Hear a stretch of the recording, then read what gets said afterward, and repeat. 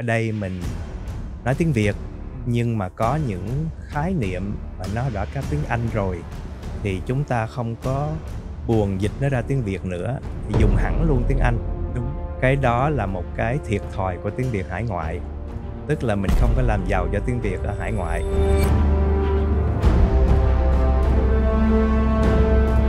Theo tôi nghĩ chúng ta không nên đóng khung ngôn ngữ như vậy dĩ nhiên cái năm 1975 là một cái năm không thể nào chúng ta quên được nó đã đi vào lịch sử rồi.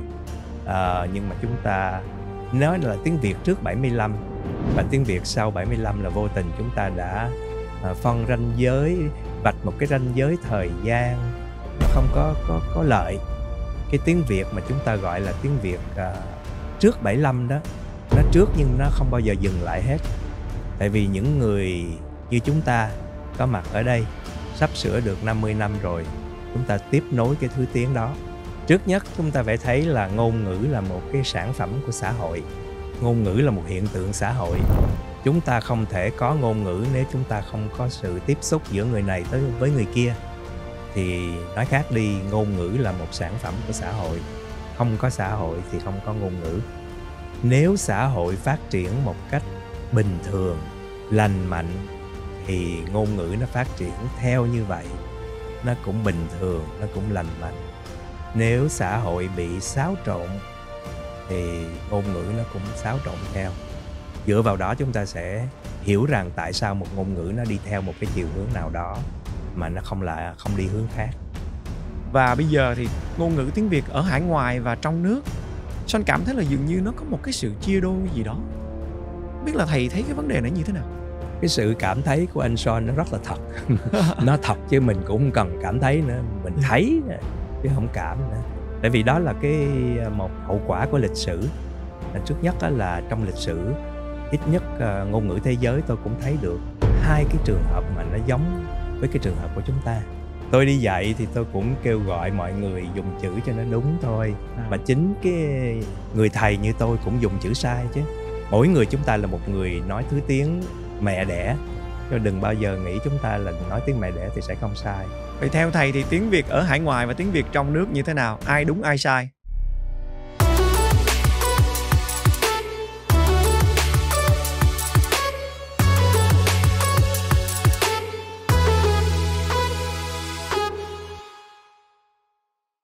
Tôi Lê xin kính chào tất cả quý vị khán thính giả. Kính thưa quý vị, trước khi mà đi vào talk show ngày hôm nay, Son muốn gửi lời cảm ơn đến tất cả quý vị đã ủng hộ cho chương trình trong suốt khoảng thời gian vừa qua. Mới đó mà chúng ta đã được hơn 8 tháng trời rồi. Trong suốt một quá trình dài như vậy, chắc chắn là chúng tôi không thể nào tránh khỏi những sai sót. Mong là quý vị niệm tình bỏ qua. Mục đích của talk show này là chúng ta có thể nghe được nhiều câu chuyện khác nhau để chúng ta có thể thấu hiểu, học hỏi lẫn nhau và cùng nhau xây dựng một cộng đồng ngày càng lớn mạnh. Cho nên Son rất là mong quý vị hãy tiếp tục ủng hộ cho chương trình bằng cách là bấm nút subscribe. Son cam đoan với quý vị là ekip của chúng tôi sẽ tiếp tục nỗ lực để làm cho chương trình mỗi ngày một tốt hơn. Quý vị hãy giúp Son lên một tay nhé. Cảm ơn quý vị rất nhiều. Và bây giờ, chúng ta hãy bước vào chương trình ngày hôm nay. Xin chào giáo sư. Một trong những cái mục tiêu mà khi mà Son làm cái show này đó là Son muốn duy trì và bảo tồn văn hóa của người Việt hải ngoại tại Hoa Kỳ. Mà khi mà nhắc đến cái cụm từ bảo tồn văn hóa người Việt thì chúng ta không thể nào không nhắc đến ngôn ngữ của người Việt. Cho nên là Son đã tìm kiếm rất là nhiều những nhân vật trong cộng đồng của chúng ta mà có những cái kiến thức sâu rộng về văn hóa. Son rất là mừng khi mà Son ờ, tìm được giáo sư và Son rất là cảm ơn giáo sư. Trước hết là cảm ơn giáo sư đã nhận lời cho cái buổi nói chuyện ngày hôm nay nhé. Dạ, xin mến chào anh Son Lê.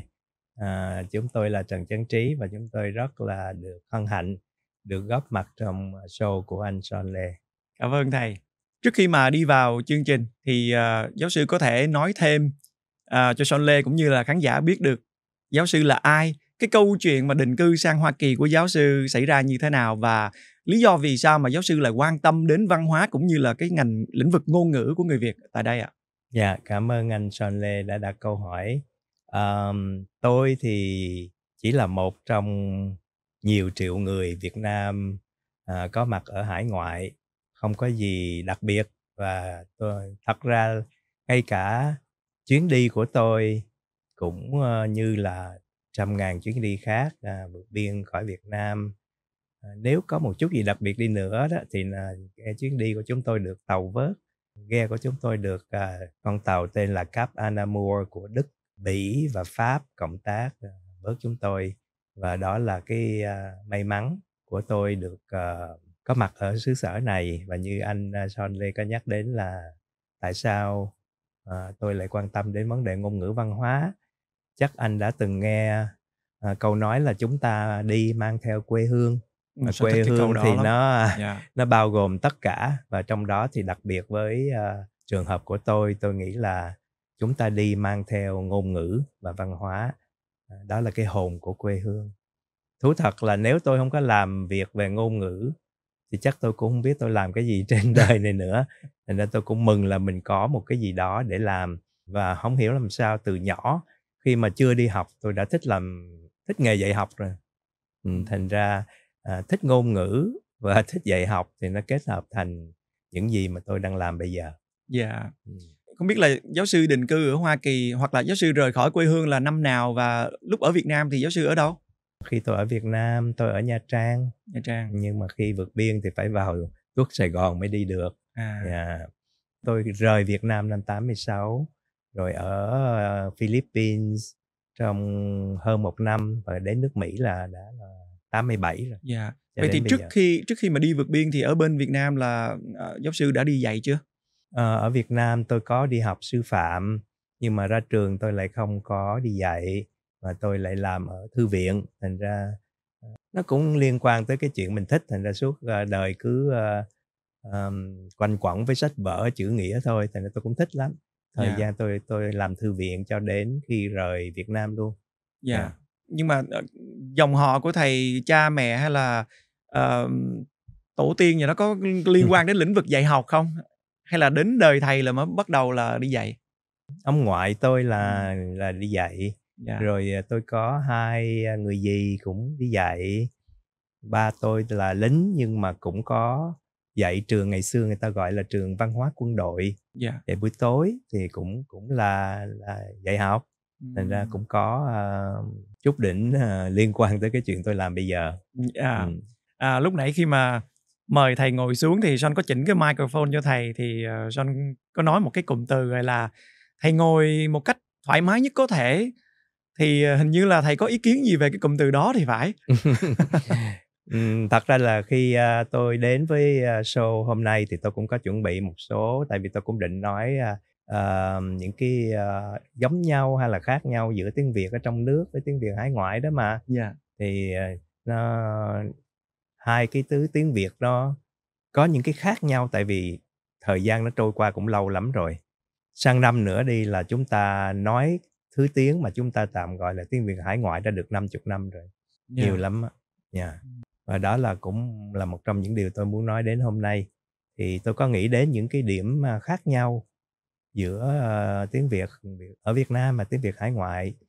Nói chung chung á, thì hai bên nó có thể khác nhau khi mà mình phân tích về hay là so sánh ngôn ngữ đó mình thường nghĩ tới những cái lĩnh vực chính là thứ nhất là phát âm rồi đến văn phạm rồi đến từ ngữ khi mà mình so sánh ngôn ngữ mình thường thường, thường nhìn vào uh, ba cái uh, thành phần đó thì cái câu mà anh uh, Son dùng đó nhất có thể phải không cái gì yeah. Dạ. à, xin anh nhắc lại thoải ừ. mái nhất có thể thoải mái nhất có thể tại vì cái kiểu mà Son nói đó nó không có quan trọng là uh, nó xuất phát từ chỗ nào? Nhưng mà cái phần lớn tại vì Son qua đây lúc Son 12 tuổi cho nên là Son cái thời gian mà mình học tiếng Anh nó nhiều hơn tiếng Việt. Và đại đa số những cái cụm từ mình dùng đó mình dịch từ sang tiếng Anh không à. Tại vì khi mà son nói giống như là cái kiểu như là be as comfortable as much as possible hoặc là as fast as you can you know uh, as slow as you can. Thì son dịch ra cái kiểu tiếng Việt thì nó nôm na nó là như vậy mà chắc có thể là Sean đã nói sai. Yeah, không phải vấn đề không phải là đúng hay sai nó có một cái nét riêng của nó. Yeah. uh, thì theo như anh nói là anh nói như vậy vì anh dịch từ tiếng Anh qua. Dạ đúng. Chứ không phải vì anh đã đọc đâu hay là đã nghe ở đâu cái cái kiểu nói như vậy. Cũng nó cũng là cũng là nghe ở đâu đó chứ không phải là không. Hồi xưa thì son không biết dịch nó như thế nào cho đến khi mà son nghe thoang thoảng ở đâu ai nói cái cụm từ đó thì son nói ồ oh, thì ra là dịch là từ như như vậy đó thì từ lúc đó là mình mới bắt đầu mình quen miệng mình dùng luôn.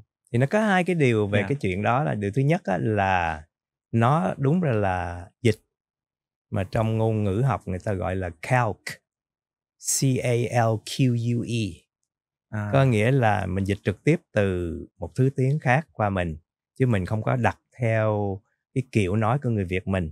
Ví dụ như trong trường hợp mình nói đệ nhất phu nhân à, phải không ạ? Dạ. Thì cái đó là một cái trường hợp calc tức là mình dịch là first lady. Dạ. Thành ra có nhiều những cái nhóm chữ mà chúng ta dùng đó chúng ta không có đặt ra thẳng từ tiếng Việt mà chúng ta dựa vào nhiều thứ tiếng khác mà đa số là tiếng Anh và tiếng Pháp.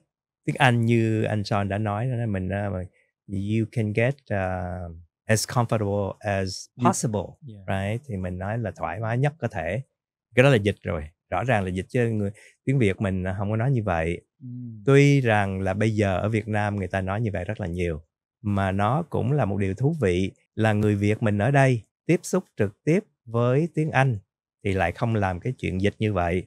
Trong khi người Việt ở Việt Nam thì dù gì đi nữa dĩ nhiên là ở Việt Nam à, có đại học tiếng Anh dạy tiếng Anh và nhân viên đi làm với những cái hãng Mỹ hãng Anh hãng những chỗ nào mà nói tiếng Anh đó họ tiếp xúc cũng có tiếp xúc tiếng Anh nhưng mà không có thể trực tiếp bằng ở đây thế mà ở Việt Nam lại chọn cái cách dịch đó và dùng rất là phổ biến chứ còn ừm, theo tôi thấy ở đây thì chúng ta không có dùng như vậy đúng hoặc vậy. là ít nhất là cũng không có dùng ờ, nhiều như vậy thì cái đó là một cái nhận xét thầy thầy Dạ. nói đúng tại vì ở Ừ. đây mình ờ, giao tiếp với người Mỹ rất là thường xuyên.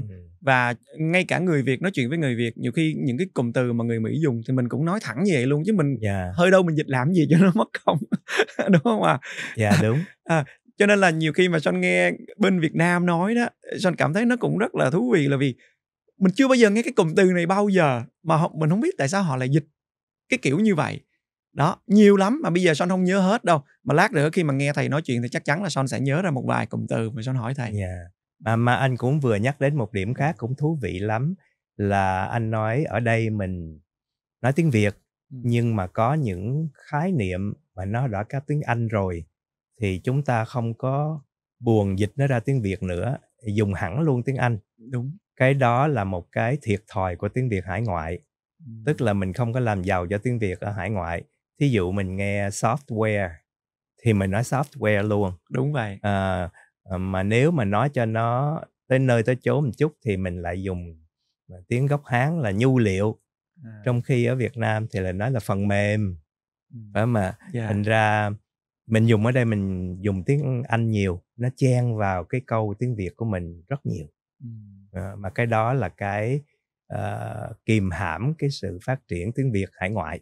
Dạ. tại vì càng ngày thì càng ừ, cứ dùng tiếng Anh mà tại vì có nhiều từ nói tiếng Anh nó nó, nó ngắn gọn hơn thầy. Nha chẳng hạn như là trò chơi hoặc là cuộc chơi đi thì ờ, ồ hôm nay mình xem gì? Ồ, hôm nay xem cái game này game kia. Đúng vậy. thì mình nói tiếng Anh luôn chứ Dạ. không lẽ mình lại dịch ra là ồ đi coi cuộc chơi bầu dục hay là chơi dạ bóng đúng rồi rổ. tự nhiên nó cũng à, nó ngược ngạo á nó cũng thấy lạc lõng. Dạ. Ví dụ mình thường nói ô con tôi nó chơi game nhiều lắm. Đó nó đúng rất rồi. là chứ mình bảo là con tôi nó chơi trò chơi điện tử thì nó Việt Nam thật nhưng mà nghe nó vừa dài mà vừa không có theo thời. À theo Đây, thời. dạ.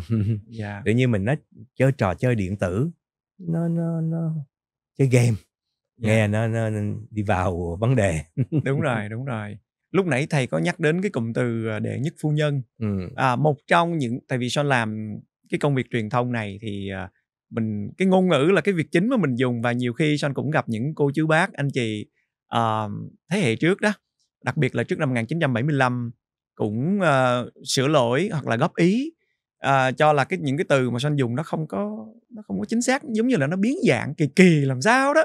Uh, tại vì thú thật là son lớn lên ở Việt Nam là sau năm 75 thì những cái từ ngữ mình dùng tiếng Việt á mình chỉ biết là mình học từ trường học thôi chứ đâu có ai ờ, nào khác một cái cơ sở nào khác dạy mình đâu. Thì họ họ dạy như thế nào thì mình học như vậy. Rồi mình qua đến mỹ rồi nó nó lại lung tung beng nữa. Tiếng việt rồi mình dùng tiếng anh rồi từ từ thì son mới bắt đầu son mới hiểu son mới tìm hiểu là ồ thì ra là tiếng việt nó còn có nhiều cái ý nghĩa khác nữa. Chẳng hạn như là những cái từ đăng ký rồi từ uh, đăng ký ghi danh rồi từ uh, nhiều lắm. Nhưng mà đại khái khi mà nghe thầy nói đến đề nhất phu nhân thì có một cái sự góp ý từ trong nước nữa từ trong nước. Mình nghe góp ý ngoài này quen rồi nhưng mà góp ý từ trong nước nữa đưa ra là ủa tại sao ở hải ngoại bắt bẻ người trong nước nói tiếng việt như thế này uh, cho là những cái từ này là nó xuất phát từ bên tàu? Nhưng mà mình cũng dùng những cái từ gọi là hán việt rất là nhiều chẳng hạn như là đệ nhất phu nhân phu nhân có phải là bên tàu không à còn nữa rất là tàu. tòa bạch ốc. Ừ. mình không thích bên kia dùng cái từ gọi là nhà trắng thì mình coi nó là nó, nó, nó như thế nào á nó không có suông tay nhưng mà mình gọi là tòa bạch ốc. Bạch ốc thì rõ ràng đây cũng là một cái từ hán việt. Vậy thì ai ảnh hưởng tàu nhiều hơn? Theo thầy. Lê xin được giới thiệu đến quý vị khán thính giả một nhà tài trợ cho chương trình ngày hôm nay, đó là văn phòng In Good Hands Tax Services, là một sự lựa chọn tuyệt vời cho các tiệm nail, nhà hàng và các doanh nghiệp nhỏ khác cần sự hỗ trợ về thuế. Với một đội ngũ nhân viên hơn 100 năm kinh nghiệm, thông thạo cả tiếng Anh lẫn tiếng Việt, văn phòng hiểu rõ cách thức hoạt động của IRS và sẽ giúp cho doanh nghiệp của quý vị khai thuế một cách hiệu quả nhất có thể. Xin hãy liên lạc số phone 714 643 9079 714 643 9079 một nhà tài trợ nữa cho chương trình ngày hôm nay đó là Văn phòng Quốc tịch Mỹ. Văn phòng Quốc tịch Mỹ cam kết giúp người già, người bệnh không cần thi vẫn được quốc tịch, tù tội vẫn được quốc tịch Mỹ. Văn phòng Quốc tịch Mỹ nằm bên trong chợ Sài Gòn Supermarket. Điện thoại 714 756 0946. Trước nhất là không có thể mà không ảnh bị ảnh hưởng được. Tại vì chúng ta rất là thiếu may mắn đã bị ờ, đô hộ một ngàn năm thành ra cái tiếng tàu tiếng hán nó đã đi vào cái ngôn ngữ của chúng ta rồi. Nó đi vào sâu đến nỗi chúng ta không có thể nào mà đẩy nó ra đâu. Vậy là bên nào cũng bị ảnh hưởng hết. Yeah. À, cái, quan điểm của tôi á, là mình đã bị là được. Có bao nhiêu chữ của tiếng tàu đó thì tới đó tới một lúc nào đó mình nên dừng. Mình đừng có nhập cản chữ tàu mới nữa thôi. Ừ. tại vì uh, không có cái ngôn ngữ nào mà nó thuần hết nó thuần nhất mà uh, người nói có thể tuyên bố là ngôn ngữ chúng tôi không có bị một cái thứ tiếng ngoại quốc nào nó xen vào. Uhm. chỉ có vấn đề là xen vào nhiều hay xen vào ít mà thôi chứ còn không có. Tiếng nào nó cũng phải mượn chữ khác bởi vì mình mới có một cái hiện tượng nó gọi là borrowing hay là loan words tức là chữ vay mượn. Chúng ta cứ thử nhìn qua tiếng anh xem. Trong tiếng anh á cứ vài chữ lại đụng một chữ tiếng Latin rồi vài chữ khác lại đụng chữ tiếng Hy Lạp. Đúng đúng. Không biết uh, anh anh Son thì cũng uh, còn trẻ mà trẻ là một cái lợi điểm chứ không phải là tôi thà trẻ hơn già. Thì chắc có không biết anh có rành về cái luật mà English only cho cũng một hai thập kỷ trước. Ở đây người ta đưa ra một cái dự luật là English only. Cũng may là cái đó nó không thành luật nó chỉ mới là cái dự luật thôi nhưng mà ai thảo ra cái luật uh, English only đó họ có thể là biết một mà không biết hai. Tại vì trong tiếng Anh mà không được nói tiếng nước ngoài mà chỉ dùng English only chắc mình cũng hết nói chuyện với nhau qua tại vì bao nhiêu những chữ mà chúng ta dùng hàng ngày đặc biệt là trong cái lĩnh vực uh, văn hóa giáo dục đó, đầy dẫy những chữ gốc Latin Hy Lạp. Nhất là trong y tế nữa này. Y tế ừ chính trị văn hóa khoa học giáo dục văn chương không có cái chỗ nào mà không có tiếng latin hy lạp english only thì no english mm. yeah. tại vì nếu mình nghĩ thử xem nhất là trong cái lĩnh vực uh, giáo dục trường là university trường đại học thì đó là tiếng latin rồi học xong ra trường thì làm mình nói là graduation thì cũng là tiếng Latin. Rồi cái lễ ra trường gọi là commencement cũng là tiếng Latin nói đầu cũng đụng hết á. Đúng rồi. Ngay cả chính trị hai cái chính đảng lớn nhất là Republican và Democrat. Republican là tiếng Latin và Democrat là tiếng Hy Lạp. Bây giờ mình không được dùng hai chữ đó thì mình đặt à, tên hai chính đảng đó lại là cái gì? Không có chữ. Yeah thì nhìn người khác rồi mình nhìn lại tiếng mình tiếng mình bị tiếng tàu hoặc là cũng là gọi là được tại vì đó là một cái một cái di sản cũng hay. Tại vì tiếng tàu nó vào tiếng việt thì mình đã việt hóa là mình dùng nó như của mình rồi. Bây giờ người tàu có nghe mình dùng những chữ ờ, gốc hán đó họ cũng nhận ra nữa. Và cái chuyện đó nó y như vậy đối với tiếng tiếng tiếng anh. Đó là chưa nói những thứ chữ, chữ pháp nó vào tiếng anh nữa ví dụ như anh uh, Sean là chắc ngôn ngữ anh tự coi là ngôn ngữ chính của anh là English chứ gì? Thì nó dùng nhiều chữ tiếng Pháp lắm ví dụ déjà vu. Uh, anh đọc đọc giấy mời người ta bảo là nhớ RSVP những cái chữ đó là tiếng Pháp. Fiancé tiếng Pháp. Tiếng Pháp đầy dãy Hy Lạp Latin thì tiếng mình là tàu tàu tàu.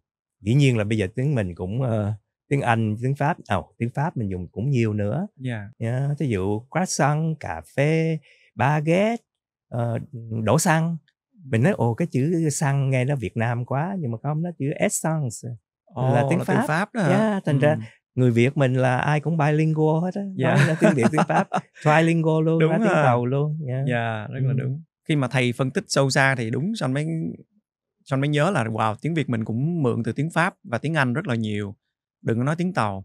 Nhưng mà khi nói tiếng tàu như vậy thì ờ, thầy nghĩ là có khi mà mình dùng chữ tàu thay vì mình nói là tiếng hoa thì mình có xúc phạm người ờ, người hoa không ạ? Trên nguyên tắc là có đó. Có đó hả? Dạ nhưng oh. mà đó cũng là một vấn đề khác.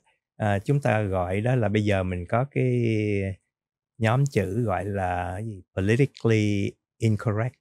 Ừ. tức là mình nói không có đúng uh, phép uh, ăn nói yeah. tạm gọi là như vậy. Thì nhưng mà ờ, đúng ờ, như anh Sean nói là mình nói là người đó là người Hoa thì họ nghe họ thấy uh, vui vẻ. Mình nói người Tàu bằng cái cách nào đó cái chữ đó nó không được uh, họ không thích.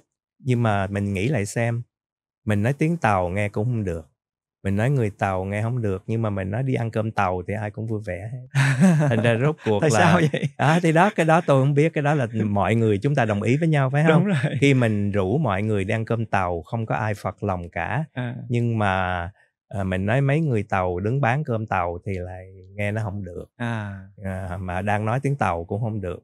Bún tàu thì nghe được. Bún tàu nghe được. Yeah. à, trà tàu nghe cũng được.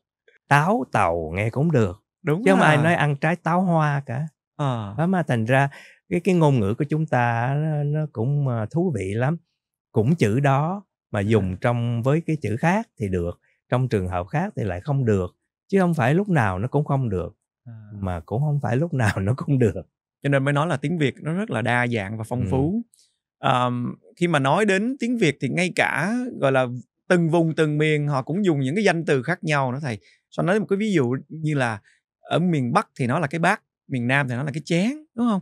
sao nó biết miền Trung gọi là cái gì. Nhưng mà Son biết là miền Trung cũng có rất là nhiều những cái ngôn ngữ nhỏ uh, vùng miền trong những cái làng nhỏ của họ nhiều lắm. Son không biết hết được. Uh, nhưng mà nói về vùng miền không thì chúng ta cũng có nhiều cái ngôn ngữ đa dạng như vậy rồi. Nhưng mà Son muốn nói một cách tổng quát là ngôn ngữ Việt Nam trước năm 75 và sau năm 75 mà theo thầy thì có cái gì khác biệt nè trước hết là à, tôi cũng à, đóng góp một tí là trong cái chén cái tô thì à. trung họ gọi là cái đoại người huế kêu cái đoại à, cái đoại nhưng mà cái tiếng đó có vẻ à, không có được à, thành thị cho lắm thì tôi nghĩ ngay cả người huế họ cũng không muốn dùng tại vì có vẻ nó địa phương quá yeah. ừ. còn xin trở lại cái câu hỏi của anh Sean là tiếng Việt trước 75 sau 75 theo tôi nghĩ chúng ta không nên đóng khung ngôn ngữ như vậy dĩ nhiên cái năm 1975 là một cái năm không thể nào chúng ta quên được nó đã đi vào lịch sử rồi. À, nhưng mà chúng ta nói là tiếng Việt trước 75 và tiếng Việt sau 75 là vô tình chúng ta đã à, phân ranh giới vạch một cái ranh giới thời gian nó không có có có lợi. Theo tôi nghĩ là cái tiếng Việt mà chúng ta gọi là tiếng Việt à, trước 75 đó nó trước nhưng nó không bao giờ dừng lại hết tại vì những người như chúng ta có mặt ở đây sắp sửa được 50 năm rồi chúng ta tiếp nối cái thứ tiếng đó. Thành ra nó đã đi qua khỏi cái năm 1975 rồi. Và nói cho cùng những người trong nước nói cái tiếng Việt sau 75 thì phần lớn cũng tiếp nối cái tiếng Việt trước 75 chứ đâu phải mà từ chân không mà ra. Thành ra theo tôi thấy uh, có thể có nên dùng cái 1975 cho cái lĩnh vực lịch sử thì hơn. Trong ngôn ngữ chia ra dĩ nhiên cũng có những lúc mình cần nói đến nhưng mà bình thường thì chúng ta không nên phân biệt như vậy tại vì cái gì nó cũng có một cái sự tiếp nối cả. Lê xin được giới thiệu đến quý vị khán thính giả một nhà tài trợ cho chương trình ngày hôm nay, đó là văn phòng In Good Hands Tax Services, là một sự lựa chọn tuyệt vời cho các tiệm nail, nhà hàng và các doanh nghiệp nhỏ khác cần sự hỗ trợ về thuế. Với một đội ngũ nhân viên hơn 100 năm kinh nghiệm, thông thạo cả tiếng Anh lẫn tiếng Việt, văn phòng hiểu rõ cách thức hoạt động của IRS và sẽ giúp cho doanh nghiệp của quý vị khai thuế một cách hiệu quả nhất có thể. Xin hãy liên lạc số phone 714 643 9079 714 643 9079 có một cái từ mà Son cảm thấy là nó nó hơi ờ, thú vị đối với Son là vì Son ít khi nào mà dùng cái từ khác tại vì tại vì mình không biết dùng từ nào nữa.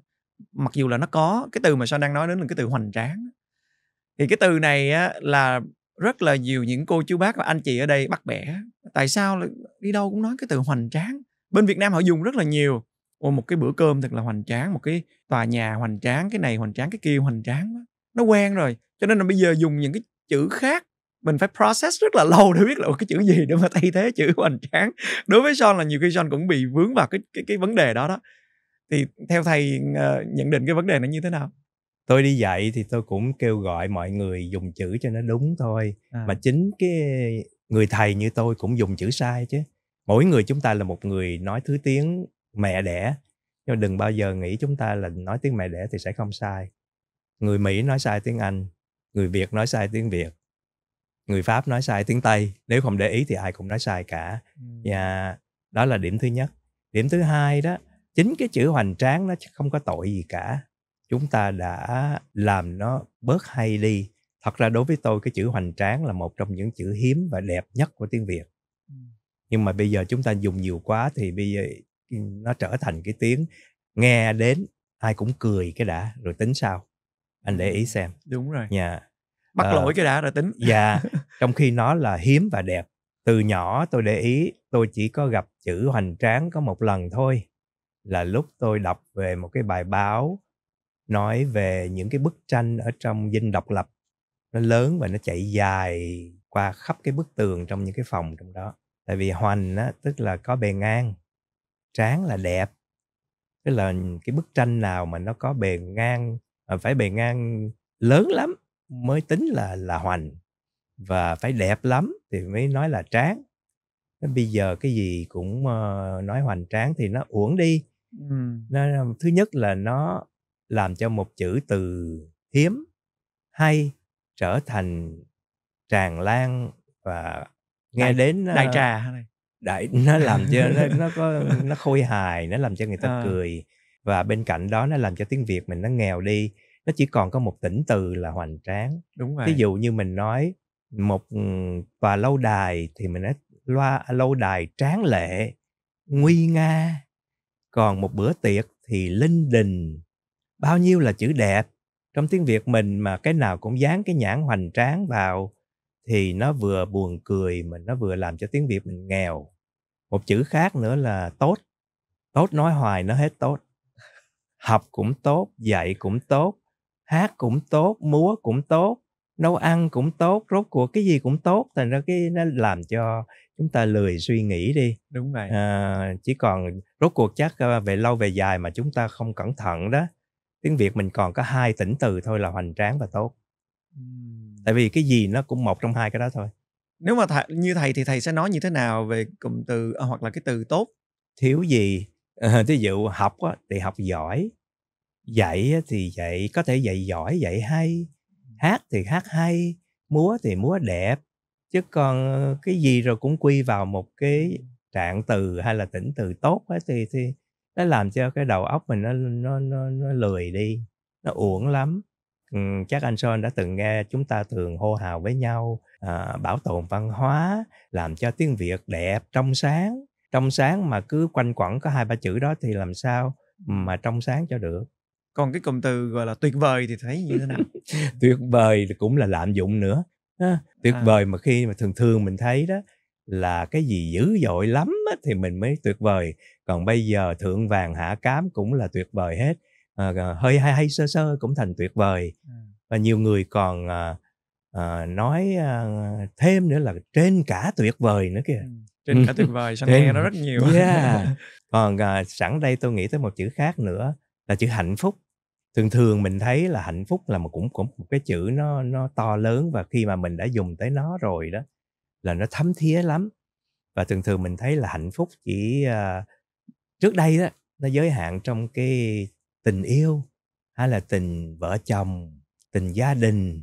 Còn bây giờ á ai à, tặng cho mình một ly boba mình cũng thấy hạnh phúc.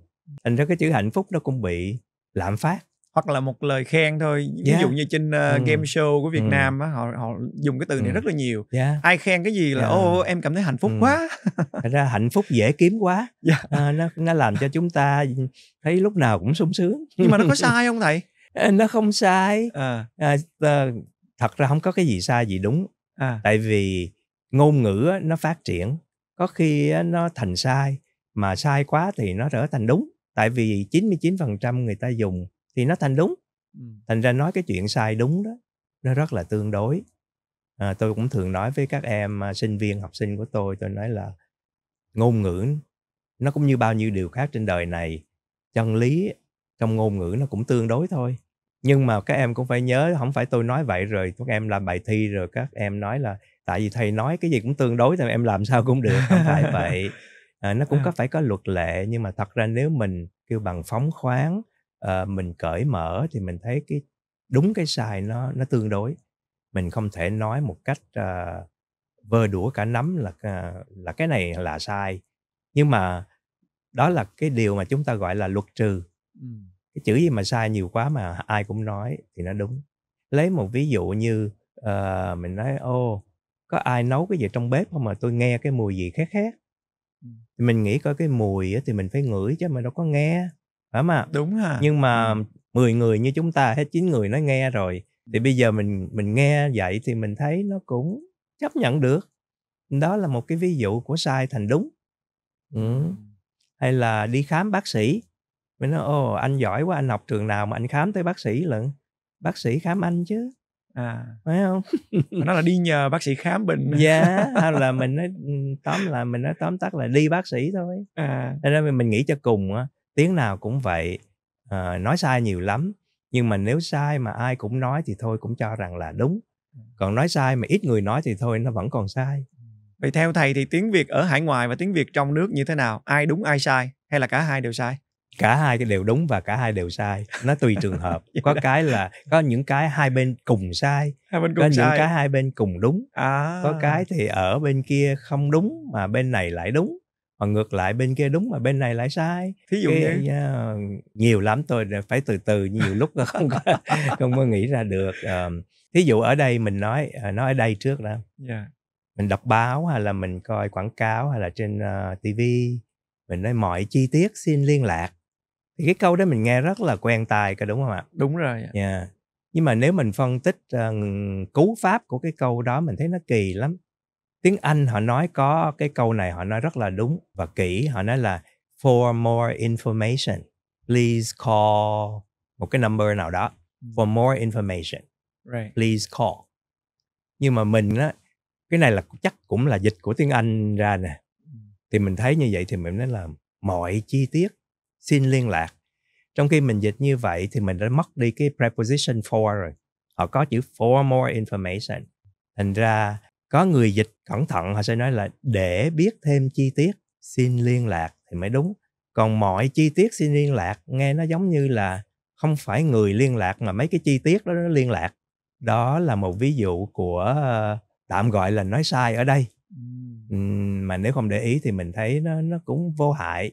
Cảm ơn thầy đã nhắc nhở tại vì lát nữa đây là son sẽ thâu một cái đoạn đọc như vậy là chắc là ừ. son sẽ dùng cái từ là mọi chi tiết rồi nhưng mà hên quá nhờ thầy nhắc cho nên mà anh đã... có đồng ý không khi mình nói Đúng. mọi chi tiết xin liên lạc tức là mình bảo mấy cái chi tiết đó nó liên lạc dạ. chứ đâu có người nào liên lạc người nào đâu không và ngược lại nếu thầy mình mới nói một cách nói mình mới nói về một cách nói ở đây chúng ta nói chưa có đúng thì mình nói một điều mà ở Việt Nam nói cũng chưa đúng là cũng dính líu đến chữ liên lạc ở Việt Nam chắc Ừ.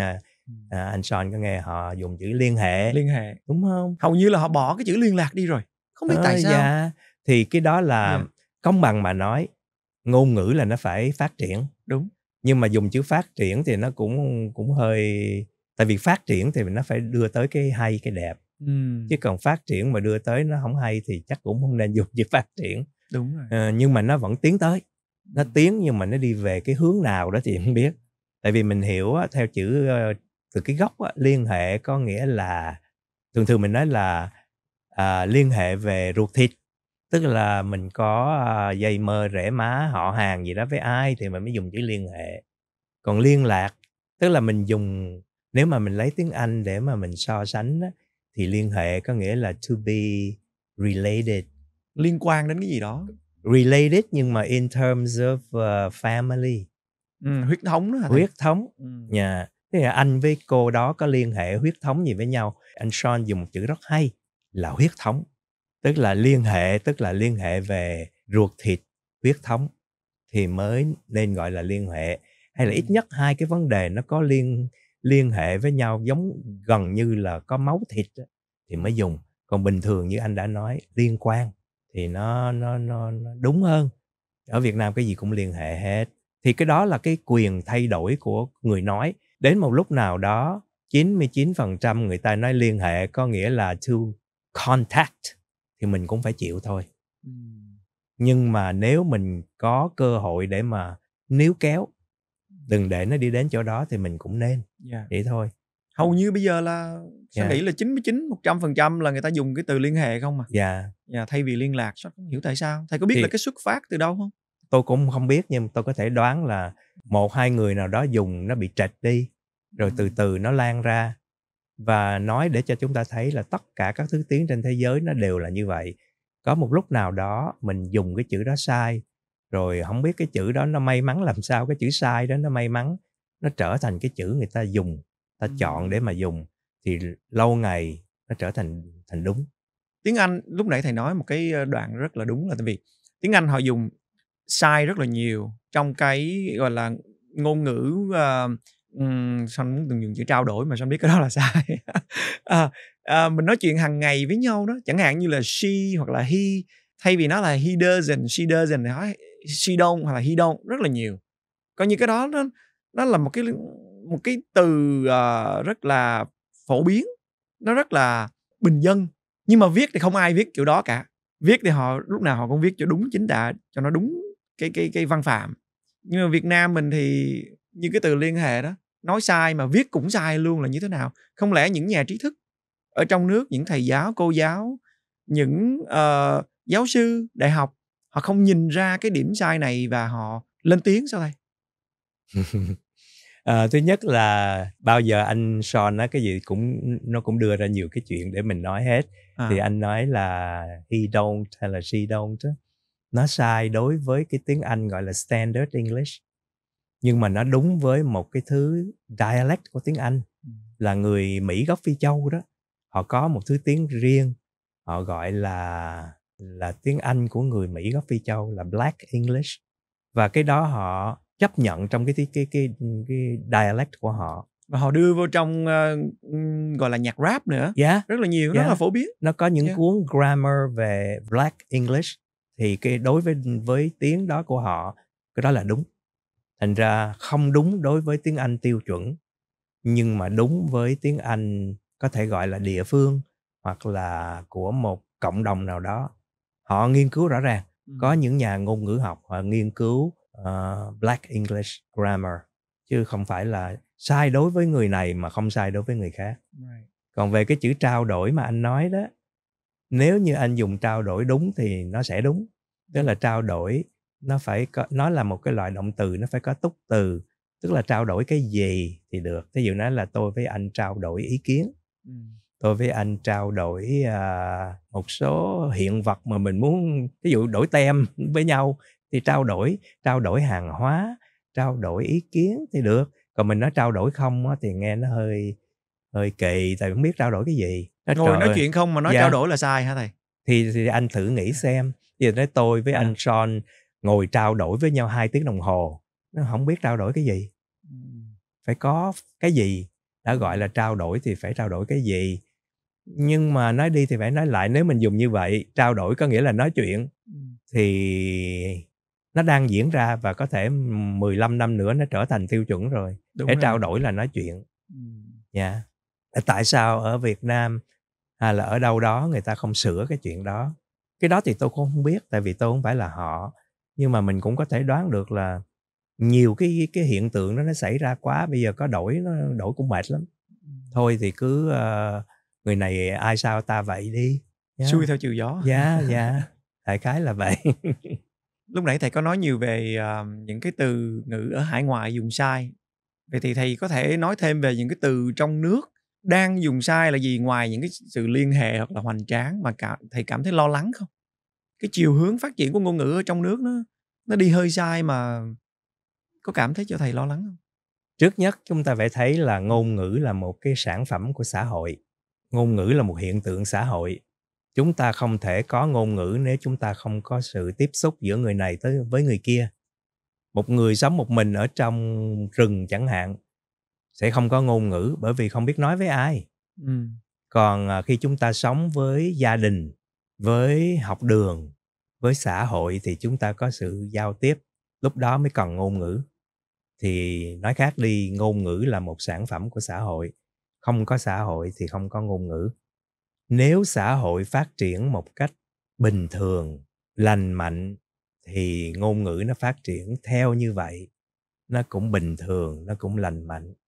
Nếu xã hội bị xáo trộn thì ngôn ngữ nó cũng xáo trộn theo dựa vào đó chúng ta sẽ hiểu rằng tại sao một ngôn ngữ nó đi theo một cái chiều hướng nào đó mà nó không là, không đi hướng khác. Một ví dụ về cái việc này là cái chuyện đặt ra những cái chữ mới. Nhanh son biết đó là cuộc sống của chúng ta nó nó diễn ra nhanh lắm, nhất là trong thời đại này, thời đại của ờ, kỹ thuật, mà ở Việt Nam gọi là công nghệ. Kỹ thuật cũng là tiếng tàu, mà công nghệ cũng là tiếng tàu.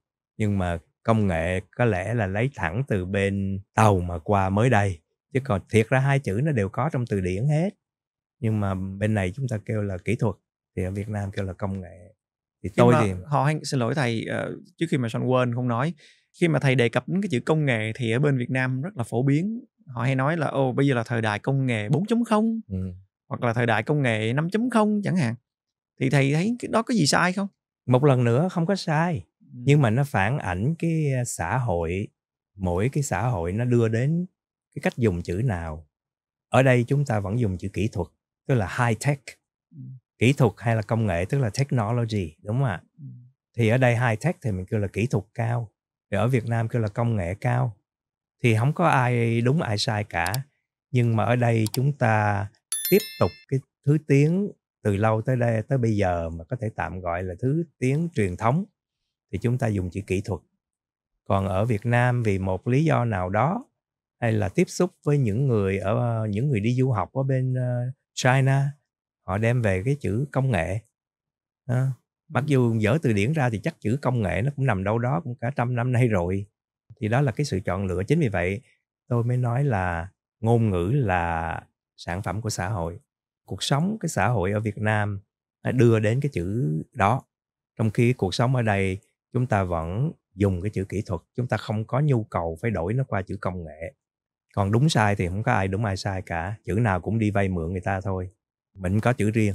Ồ oh, vậy đó. Yeah bây giờ bảo uh, không được dùng kỹ thuật không được dùng công nghệ thì cũng chẳng biết dùng chữ gì. Yeah. cũng giống như tiếng anh nếu như mình ra trường mà không được dùng chữ graduation chắc cũng không biết chắc là get get out of here quá hả? Chứ không có dùng được chữ gì hết. À. yeah không có dùng được tại chữ graduation là của tiếng Latin và nó đã như vậy rồi trong tiếng Anh. Yeah. yeah thì nếu mà bảo uh, sai thì không có sai vậy là không có cái gì là đúng có gì là sai cả yeah. ngay dạ. cả tòa bạch ốc hoặc là nhà trắng cũng cũng không đúng không sai hả thầy tôi nghĩ đây là ý riêng của tôi tôi nghĩ là cái cách gọi ở Việt Nam nhà trắng có vẻ làm cho nó giảm cái phần quan trọng của cái cái cái cái, cái nhà đó ừ à, tại vì bạch ốc á, đúng là nó quá tàu nghe nó ra rất là tàu có khi có khi gọi là tòa bạch cung nữa kìa. À, tòa bạch cung nhưng mà cái chữ đó nó không phân không có phổ thông bằng là tòa bạch ốc. Cung là cái cung điện hay nó to hơn nữa. Còn bảo là nhà trắng đó, thì tự nhiên nói như vậy cái là giảm cái phần quan trọng của nó rồi. Có thể đó là một cái họ cố tình nói như vậy. Ừ. tại vì anh thử tưởng tượng xem mình bước vào một cái khu xóm nào đó tất cả nhà nào cũng sơn màu trắng thì trong khu đó nó tới có có tới 100 cái nhà trắng nữa. đâu có còn ý nghĩa gì quan trọng đâu. Trong khi trên thế giới này chỉ có một cái tòa bạch ốc mà thôi. Ừ, còn nhà trắng thì anh muốn hiểu sao anh hiểu? Nhưng mà có thể là họ dịch từ tiếng Anh qua thôi. Tiếng Anh thì nó là White House thì White là trắng ừ. house là nhà. Ừ. à, cái chuyện người dịch đó họ có thể chọn cái cách dịch. Giống như về ngoại giao đó thì người Việt Nam chúng ta dùng chữ là khi mà một ông đại sứ đó ông trình cái cuốn bạch thư cho tổng thống của cái nước mà họ đến họ làm đại sứ. Thì ở Việt Nam gọi là sách trắng. Bạch thư là sách trắng. Thì có người bảo nếu mà in một cuốn sách là chỉ có in cái bìa thôi ở trong không in gì hết thì mở ra nó cũng là sách trắng. Thì ăn thua là mình mình hiểu.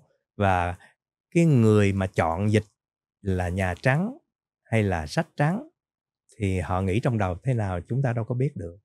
Họ dịch là họ dịch kêu bằng nghĩa đen hay là họ dịch với một cái mục đích nào đó thì mình không biết. À, nhớ lại cái câu hỏi hồi uh, lúc trước lúc hồi nãy của anh Sean là tôi có trăn trở gì về tiếng Việt không? À, là một người nói tiếng Việt yêu tiếng Việt dạy tiếng Việt và dùng tiếng Việt để uh, viết lách thì dĩ nhiên là tôi có trăn trở không ai muốn cái tiếng cái ngôn ngữ của mình nó phát triển theo một cái chiều hướng uh, không có được tốt đẹp. Nhưng mà tôi nghĩ có trăn trở mấy đó thì nó cũng có một cái giới hạn nào đó thôi. Tại vì chúng ta mỗi người chúng ta chỉ là một cái một cá nhân rất là nhỏ. Và khi cái trào lưu nó tiến lên thì thì chúng ta có có có trăn trở thì cũng không có làm gì được. Có lẽ là tôi bi quan thì tôi chỉ uh, giải quyết cái chuyện à, đáp lại cái trăn trở của mình bằng cách là góp một cái cái tiếng nói nhỏ của mình vào cộng đồng của chúng ta à, trong trường lớp. Không biết anh son có biết là tôi có sinh hoạt với liên hiệp các trường việt ngữ hải ngoại mà mỗi năm chúng tôi có khóa huấn luyện và tu nghiệp sư phạm 3 ngày vào mỗi mùa hè. Và cách đây mấy tuần thì chúng tôi có làm cái khóa tu nghiệp sư phạm mới nhất đó kỷ niệm 35 năm. Mà trong 35 năm đó tôi cũng đã có hân hạnh được cộng tác tới 21 năm rồi. Thì đó là một trong những cái cách mà tôi đóng góp cái tiếng nói nhỏ bé của tôi vào cái việc uh, gìn giữ uh, tiếng Việt. Và bên cạnh đó tôi cũng có cái sự hiểu biết là mình cũng chỉ gìn giữ được tới cái mức nào đó thôi. Và mỗi người chúng ta đóng góp một tiếng nói một bàn tay vào đó thôi, chứ còn nói thì có vẻ sáo ngữ, nhưng mà một con én thì không có làm nổi một mùa xuân. Mỗi người chúng ta đều phải đóng góp. Lúc nãy khi mà thầy có chia sẻ về ngôn ngữ tiếng Việt ở trong nước và ngoài nước, thì Son cũng chợt nhớ đến, và Son cũng không biết là tại sao tiếng Việt mình từng vùng, từng miền dùng rất là khác, chẳng hạn như là miền Nam và miền Bắc. Và bây giờ thì ngôn ngữ tiếng Việt ở hải ngoại và trong nước Son cảm thấy là dường như nó có một cái sự chia đôi gì đó? Biết là thầy thấy cái vấn đề này như thế nào? Cái sự cảm thấy của anh Son nó rất là thật. Nó thật chứ mình cũng không cần cảm thấy nữa mình thấy chứ không cảm nữa. Tại vì đó là cái à, một hậu quả của lịch sử. À, tôi cũng định à, nói chuyện với anh Son về vấn đề đó để ừ. cũng mang cái này ra so sánh. À, trước nhất là trong lịch sử ít nhất uh, ngôn ngữ thế giới tôi cũng thấy được hai cái trường hợp mà nó giống với cái trường hợp của chúng ta cái trường hợp thứ nhất á, là thứ tiếng tiếng anh nó gọi là judeo spanish thì tạm dịch tiếng việt là tiếng tây ban nha của người do thái. Ừ. tiếng đó là nó nó phát xuất như thế nào? Vào khoảng năm tôi dở lịch sử lắm để tôi phải nhớ cái tên năm 19 năm 1492 tức là cách đây 600 năm rồi ha là ở Tây Ban Nha đó. Mà Tây Ban Nha là vốn là theo Thiên Chúa giáo có một cộng đồng rất lớn những người Do Thái mà người Do Thái thì theo Do Thái giáo thì vào năm 1492 hoàng hậu với vua của Tây Ban Nha mới quyết định là cho tối hậu thư với những người Do Thái theo đạo Do Thái ở Tây Ban Nha. Một là họ phải giữ đạo à, họ phải đổi qua Thiên Chúa giáo. hai họ muốn giữ do thái giáo họ phải đi ra khỏi nước thế thì có một số ờ, đổi đạo để ở lại và một số muốn giữ đạo họ mới đi lưu vong. Thì tất cả những người do thái mà muốn giữ đạo đó họ đi tản mát khắp nơi trên thế giới. Và họ ở đó lâu rồi họ nói tiếng tây ban nha. Khi mà họ đến nhiều nước trên thế giới đặc biệt là họ ở do thái nhiều nhất rồi họ ở một số nước đông âu tây âu cũng có thì họ tiếp tục họ nói tiếng tây ban nha. Ừ. nhưng mà cái tiếng tây ban nha đó họ xin phép được dùng tiếng anh ở đây là nó là frozen in time. Tức là họ tiếp tục nói nhưng mà họ không có liên lạc với tiếng tây ban nha trong nước nữa. Thành ra họ giữ lại những cái nét vô cùng là xưa cũ của tiếng tây ban nha trong khi tiếng tây ban nha ở trong nước nó đã phát triển kiểu khác rồi. Nó cũng na ná như cái trường hợp uh, tiếng việt nam của mình ở việt nam và ở đây vậy.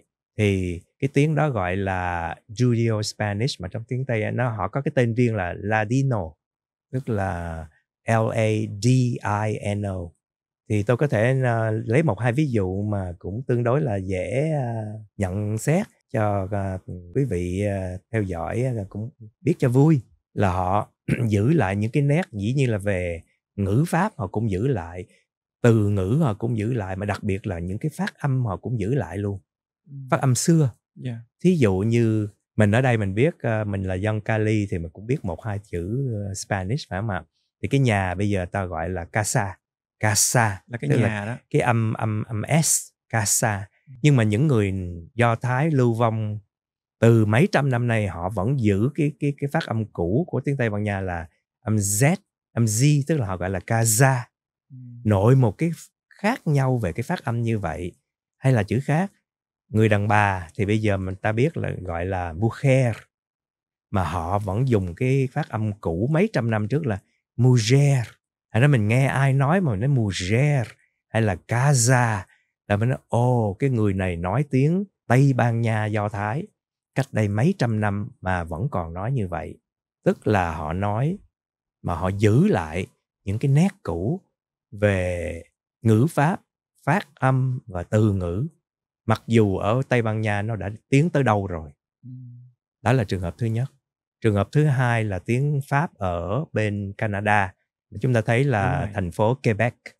Yeah. thì tiếng pháp đó người ta kêu là quebecois french hay là nói theo tiếng pháp là français quebecois thì cái trường hợp uh, đó là cái trường hợp mà người pháp qua khai khẩn ở bên uh, can vùng đất mà bây giờ là Canada đó vào thế kỷ thứ 18 họ gọi cái vùng đó là New France là nước Pháp mới giống như là tân thế giới vậy đó. Thì họ những người đó người Pháp họ mới qua đó họ ở thì cũng vậy giống như cái trường hợp tiếng Tây Ban Nha của người Do Thái cái tiếng Pháp đó nó đông lại trong mấy chục năm mấy trăm năm. Và nó không có nó khác đi với cái tiếng Pháp ở Paris. Ví dụ như uh, tiếng Pháp ở ở bên Paris đó người ta nói âm mũi nhiều lắm không biết anh Sean có để ý không? Họ nói cái âm nasal rất là nhiều. Thì qua tới bên ờ, tiếng Pháp của Quebec đó, nó tự nhiên nó cái âm mũi nó bớt đi những cái phát âm của tiếng Pháp vì có lẽ đây là tôi đoán là tiếng Pháp mà nói ở Quebec nó gần tiếng Anh quá đi thành ra nó nó pick up nhiều cái phát âm của tiếng Anh. Thí dụ như chữ uh, thing là t h i n g của tiếng Anh đó thì đọc tiếng Pháp á, phải đọc âm o tức là shows. Nhưng mà người Quebec họ lại nói là shows.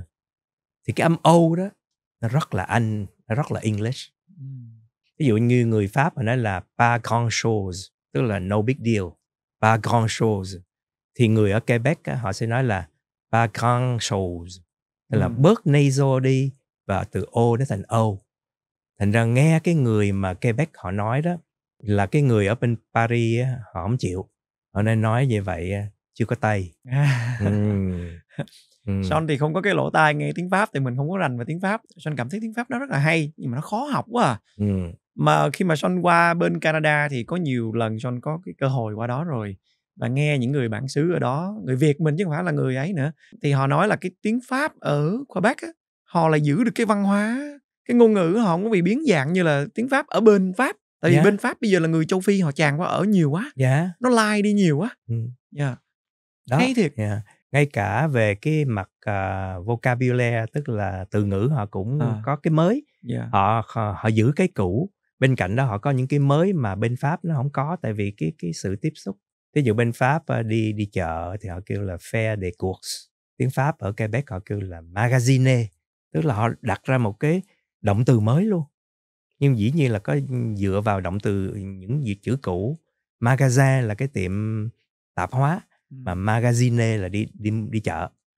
Bên pháp họ không có nói magazine họ nói fair de course như vậy là sao tóm lại chúng ta thấy là những thứ tiếng mà tạm gọi là thứ tiếng lưu vong đó những thứ tiếng đó nó phát triển theo một cái chiều hướng khác nhau và nó bị ảnh hưởng vì những cái môi trường chung quanh. Cái nhận xét đó nó đưa chúng ta trở lại tiếng việt của chúng ta là tiếng việt mà tôi xin tạm gọi là tiếng việt hải ngoại. Ừ. tiếng việt hải ngoại của chúng ta sang năm nữa là được 50 tuổi. Đúng vậy. So với tiếng việt à so với tiếng pháp ở quebec á, là thế kỷ thứ 18 1800 mấy 1700 mấy tới bây giờ là tới uh, hơn 300 năm. Wow. đó mà yeah. còn tiếng ờ, Tây Ban Nha của người Do Thái là đến uh, 6 700 năm. Tiếng Việt hải ngoại mình mới có 50 năm thôi. Nhưng mà không biết lịch sử nó sẽ đi về đâu. Nếu mà cái sự chia cắt nó vẫn như thế này đó thì không biết cái tiếng Việt hải ngoại mình nó sẽ già đi bao nhiêu tuổi nữa. Nhưng mà dù sao đi nữa thì tiếng Việt hải ngoại của chúng ta nó đang có những cái nét rất là tương đồng với tiếng Tây Ban Nha, Do Thái và tiếng Pháp ở Quebec, có nghĩa là nó phát triển theo kiểu của nó. Thầy thấy cái kiểu phát triển này uh, tích cực hay là tiêu cực? Cái gì nó cũng có hai mặt cả. Cái gì nó cũng có cái hay cái dở. Mình không thể nói được là nó tích cực hay tiêu cực. Ví dụ tiêu cực ở chỗ là như chúng ta đã nói hồi nãy tiêu cực của tiếng việt hải ngoại ở chỗ là dùng tiếng anh nhiều quá, nó làm nghèo đi tiếng việt. Ví dụ mình đi shopping thì mình nói đi shopping, chứ mình không có nói là đi mua sắm nữa. Mình không có rủ nhau mình kêu điện thoại hay mình text mình nói chiều nay mình đi mua sắm không? Không, mình nói đi shopping. Rồi mình đến shopping mall, mình nói, trời ơi, parking nó đầy quá. Chứ mình không nói, trời ơi, bãi đậu xe sao nó đầy quá. Rốt cuộc mình nói tiếng Việt mà tiếng Anh nó vào nhiều lắm. Yeah. À, ở trong uh, trong cái ngôn ngữ học ta gọi cái hiện tượng đó là code switching. Tức là mình switch từ cái code này à, cái code này qua cái code khác. Chiều nay chúng ta sẽ đi shopping và hy vọng rằng parking không đông. Đúng rồi. Yeah, chứ không có ai nói chiều nay chúng ta sẽ đi mua sắm và hy vọng rằng bãi đậu xe không đông. Trừ khi người đó mới qua Mỹ. Trừ khi người đó mới qua Mỹ. Yeah mình đọc là biết liền à dạ yeah. yeah. nhưng mà qua chừng uh, vài tuần thôi đã đổi rồi là đổi liền đó. muốn go with the flow right yeah yeah tại giống như thầy nói nó thuận tay hơn với lại nó, nó yeah. giống như là nó đỡ mất thời gian hơn yeah. đánh yeah. nó dài dòng quá. mà nó không có lạc lõng yeah. uhm. nhiều người ở Việt Nam mới qua nó đi xe buýt nghe nó đi xe buýt là biết ở Việt Nam mới qua đúng rồi vài tuần sau là đi xe bus xe bus à, mà mà không có chữ nào là của Việt Nam hết bus yeah. là tiếng Pháp mà bus là của tiếng Anh yeah. không có chữ nào tiếng Việt hết còn cái vấn đề tích cực là chỗ nào thầy tích cực uh, chỗ là cũng là quay lại cái vấn đề ngôn ngữ là sản phẩm của xã hội ừ. thì nếu mà ở đây xã hội chúng ta ở đây phát triển phải phải thấy nó có lề lối nó không có quá đáng thành ra cái sự phát triển nó cũng cái gì nó cũng nhẹ nhàng thành ra nó không có những cái ý tưởng quá táo bạo, thành ra nó làm cho cái ngôn ngữ nó bị ảnh hưởng quá mạnh. Ví dụ ở việt nam, thích tạo ra những chữ mới, cái chuyện tạo chữ mới thì tiếng nào cũng có, tiếng anh, tiếng pháp, tiếng việt hải ngoại, tiếng việt trong nước đều có hết. Vấn đề ở chỗ là tạo chữ mới nhiều quá và một cách không có trật tự thì nó nó nó đâm ra khó kiểm soát. Thí dụ như mình kêu là siêu thị, siêu nhân phải không ạ thì siêu tức là super là tiếng hán. Nhân hay là thị cũng là tiếng hán. Thì trên nguyên tắc là khi mình ráp hai chữ với nhau đó hai chữ đó nó nên cùng một góc thì nó đẹp hơn. Nhưng mà ở việt nam ví dụ như mình đây đây là chỗ bán nước mía siêu sạch. Siêu sạch. Nghe thì nó vui nhưng mà nghĩ ra đó thì hoặc là siêu ngon. À, siêu ngon à. à. từ đó siêu dở siêu dễ siêu gì đó không biết thì chúng ta thấy siêu là tiếng hán mà sạch là tiếng việt. Thì ráp lại nó kêu là nửa nạc nửa mỡ. Yeah. thì không phải là cũng chẳng phải là cái chuyện gì ghê gớm cho lắm. Nhưng mà nếu nó tràn lan hết á thì nó thấy nó cũng không được. Tôi cũng phải nhắc đi nhắc lại với anh Sean là thật ra không có cái gì đúng không có gì sai hết. còn có một cái trường hợp thật là táo bạo nữa là tiếng Việt mà kết hợp với tiếng Tây nữa kìa đó là trường hợp những cái ngôi nhà ở trong cái hẻm thật là xa ở Sài Gòn chẳng hạn. Ở nhà uh, có một số này nó nó slash số kia đó ví dụ là nói theo tiếng Anh tức là 3 slash 4 slash A slash B đi vòng vèo vào cái hẻm không biết bao lâu mới tới cái nhà đó. Thì ở Việt Nam bình thường ta kêu là sẹt. Sẹt á, là nó từ tiếng Pháp là suyệt tức là over. Ồ, vậy đó. Là over. Thì thí dụ nói nhà tôi ở ba ba sẹt tám tức là 3 over 8 ba sẹt tám mà nếu hay là họ có người, nào mà nói mà cẩn thận một chút á họ kêu là suyệt. Suyệt là đọc cho nó giống tiếng Pháp hơn. Yeah. trong tiếng Pháp là S U R đọc là suyệt. Thì người nào mà mà biết là chữ đó tiếng Pháp thì họ đọc cẩn thận ở đây nhà tôi ở ba suyệt tám. Còn người nào bình dân họ không để ý thì ba sẹt tám. Sẹt thôi. Um, thì chỗ này mới là cái chỗ táo bạo nhà nào mà thí dụ nói là ba suyệt tám suyệt năm suyệt bốn suyệt ba suyệt hai suyệt A suyệt B gì mới tới đó thì nhà đó ta kêu là nhà siêu sẹt siêu sẹt siêu sẹt tức là sẹt nhiều quá mà siêu là tiếng hán mà sẹt là tiếng pháp. Nghĩa là hán tây đề huệ. Thập cẩm luôn. Thập cẩm luôn ừ. thành ra chúng ta thấy cái đó cái, những cái cái trường hợp như vậy nó làm chúng ta cười hơn yeah. là nghiêm chỉnh phải không và những cái chữ đó uh, để nói với nhau hàng ngày cho nó vui thôi chứ còn nó không có thể đi vào văn chương uh, sử sách được hay là một cái bài bài diễn văn thì họ không có dùng những chữ như vậy được không có dùng được ừ. chẳng hạn như là cực hay ừ. à, giờ ừ. sanh nghe cái yeah. từ đó rất là nhiều yeah. những ca sĩ trẻ mà họ ừ. hát họ đều nói yeah. sắp sửa trình diễn bài hát nghe cực yeah. hay thầy thầy thấy cái chữ đó nó có quá đáng không? Nhưng mà thí dụ anh hay tôi mà sống trong cái xã hội chung quanh ai cũng nói như vậy thì cuối cùng chúng ta sẽ nói như vậy. Yeah. Yeah, chúng ta là sản phẩm của xã hội.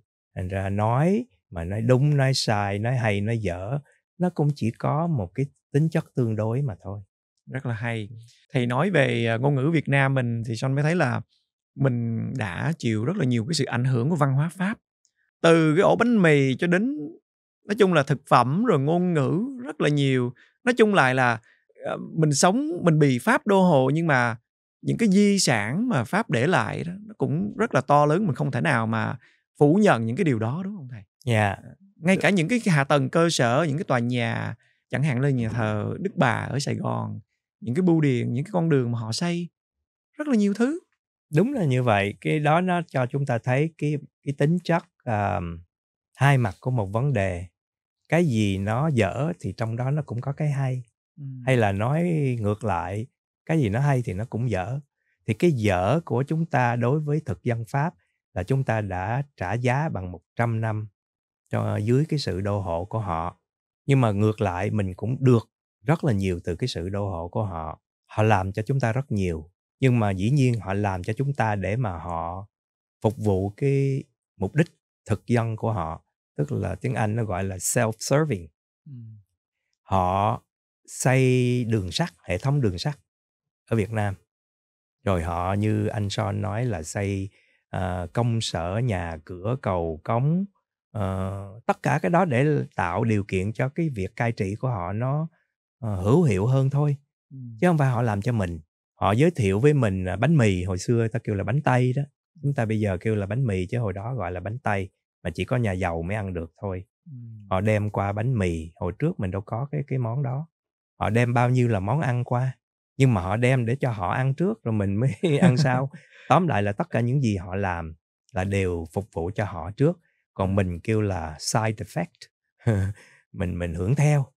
Và cái quan trọng nhất mà liên quan tới việc chúng ta đang nói là cái bản mẫu tự Latin.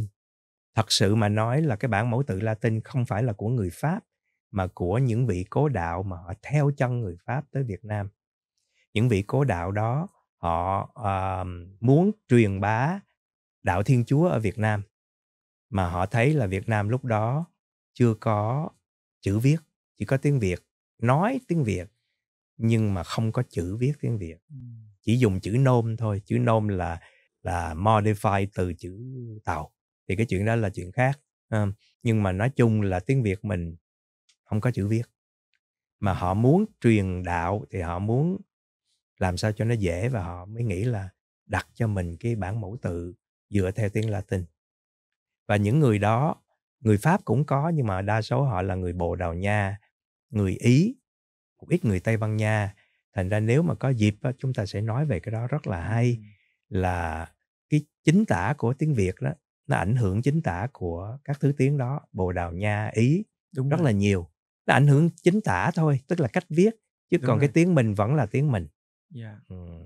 lấy một ví dụ nhỏ thí dụ tiếng Anh à tiếng Ý ta kêu là spaghetti phải không thì trong đó anh Son để ý chữ get hay là chữ ghetto ghetto spaghetti nó có chữ GH ở trong đó thì trong cái chính tả tiếng Ý GH á, bình thường thì viết G chỉ thêm chữ H khi nào chữ đi sau là E hay là Y thì mới có chữ H như xin nhắc lại là chữ ghetto với chữ spaghetti hay là Lamborghini nó cũng có chữ H thì chính tả tiếng Việt mình cũng bắt trước là hễ mà mình có E với Y thì phải có thêm chữ H Ngon tức là ha, đúng vậy. ghi ghi cái gì đó Dạ. hoặc là cái chiếc ghe thì phải có chữ H nhiều người người ta mới nói ủa hình như bỏ chữ H đi mình vẫn đọc được là ghe mà Đúng vậy.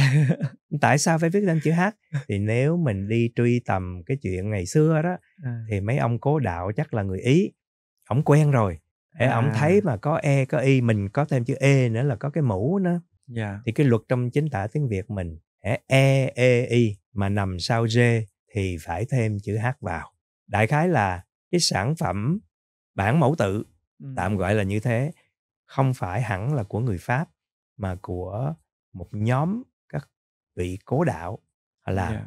mà cũng là self-serving họ làm để mà họ truyền đạo chứ không có tử tế gì nhưng mà rốt cuộc mình hưởng mình hưởng cho đến bây giờ. Ờ, ở Á Châu chúng ta không phải nước nào cũng có được bản mẫu tự Latin.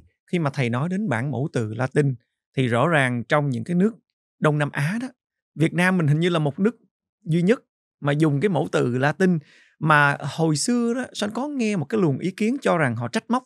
Họ nói là Việt Nam mình là bị Tây hóa nhiều quá.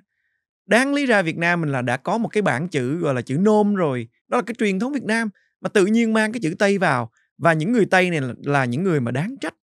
Thì bây giờ bỏ cái chuyện chính trị qua một bên mình không nói cái chuyện đô hộ riêng về cái mặt ngôn ngữ văn hóa không đó thì thầy cảm thấy là chúng ta nên biết ơn nhiều hơn người Tây hay là nên trách móc họ?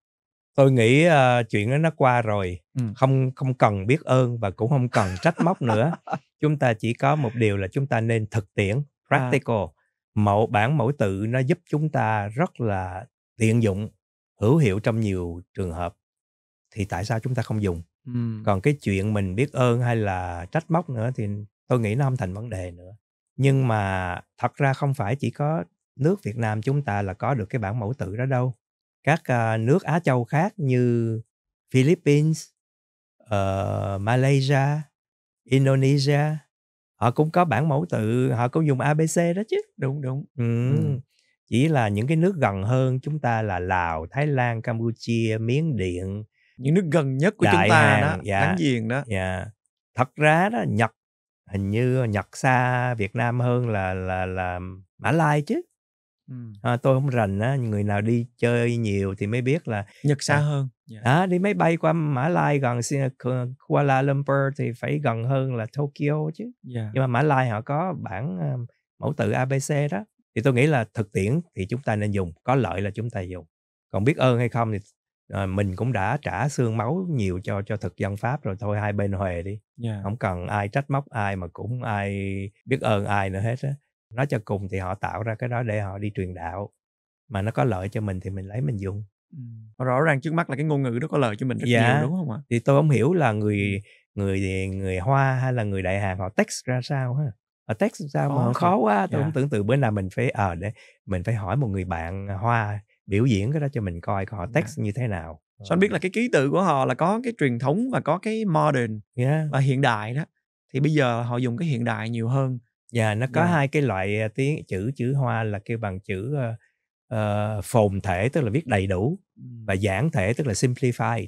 Dạ. thì ở bên ờ, China họ dùng simplified tức là giản thể tức là viết cho nó nó nó đơn giản đi Ừ. nhưng mà ở bên Đài Loan thì họ vẫn dùng phồn thể tức là viết cho đầy đủ Dạ. ví dụ một chữ đó nó có 8 nét ở bên Đài Loan thì cũng chữ đó nó còn có 5 ở bên ờ, Trung Hoa lục địa thôi công nhận thầy biết nhiều thiệt son thật là thán phục cái kiến thức về ngôn ngữ của thầy đó thầy tìm hiểu nhiều quá à. được biết là thầy ngoài tiếng việt ra hình như là công việc chính của thầy là thầy dạy tiếng tây ban nha đúng không ạ tôi biết nhiều là tại vì ờ, tôi chỉ biết có từng đó thôi chứ tôi đâu biết chuyện khác. Dạ thật ra là ừm, tôi đi học là theo đào tạo là tôi là tiếng Tây Ban Nha và tôi cũng dạy tiếng Pháp. Tại vì ờ, trong cái chương trình tôi có. Nhưng mà bây giờ thì theo cái sắp xếp thì ờ, giờ dạy tiếng Việt tôi là nhiều hơn nhưng mà tôi vẫn có dạy tiếng Tây Ban Nha. Mà tôi cũng rất là vui vì mình có cơ duyên đến được với tiếng Tây Ban Nha để mình so sánh lại tiếng Việt với tiếng Việt. Tại vì khi mình biết hơn một thứ tiếng đó mình nhìn nhiều hơn và mình hiểu được hơn và mình thấy nó liên quan với nhau nó hay lắm. Ừ. cái gì cũng vậy nếu mình biết hơn một thứ đó giống như người ta nói là nghe một tiếng chuông đó thì nó không thấy hay. Phải nghe nhiều tiếng chuông thì mới phân biệt được tiếng chuông nào to tiếng chuông nào nhỏ tiếng chuông nào ngân nga tiếng chuông nào trầm bổng. Thì nếu mình bất cứ lĩnh vực nào cũng vậy chứ không phải riêng trong ngôn ngữ. Càng chúng biết nhiều thì chúng ta càng có cơ hội so sánh và đối chiếu thì mình càng thích hơn. Thí dụ như khi mà tôi giảng dạy cho các em về các thứ tiếng đó tôi thấy nó thú vị lắm. Nhiều lúc á, tiếng việt á, nó lại giống tiếng anh. Có lúc á, tiếng việt nó lại giống tiếng pháp. Có lúc á, tiếng việt lại giống tiếng tây ban nha. Là tại sao? Vì cuối cùng đi nữa tất cả các thứ tiếng trên thế giới là thứ tiếng của con người. Trong ờ, ngôn ngữ học có một vị nổi tiếng vô cùng hay là nói theo kiểu bây giờ là cực nổi tiếng. Cực nổi đó. Cực nổi nữa. ông đó tên là Noam Chomsky. Thì tôi nói như thế này anh Sean có thể tưởng tượng ông nổi tiếng như thế nào. Người ta nói là trong 10 người mà được mọi người trích dẫn những cái câu nói của mình đó, thí dụ như mình viết mình trích người này nói người câu này người kia nói câu kia đó thì trong 10 người 10 vĩ nhân trên thế giới mà được mọi người trích dẫn nhiều nhất thì có ông Noam Chomsky. Ừ. mà trong 10 người đó chỉ có một mình ổng còn sống thôi. Những người khác là Đức Phật Thích Ca hay là à, Chúa Giêsu hay là ông Gandhi chẳng hạn. Chín người kia là không còn nữa hoặc là chưa bao giờ có. Còn ông Noam, uh, Noam Chomsky là một người có thật và ổng đã về hưu rồi ổng là nhà ngôn ngữ học phải nói ai mà nghiên cứu ngôn ngữ học mà không có biết ổng là ai, thì coi như chưa biết gì hết. Và ông á về hưu và hiện giờ ổng chưa muốn về hưu, đã về hưu mà vẫn còn dạy học ở trường Arizona State University.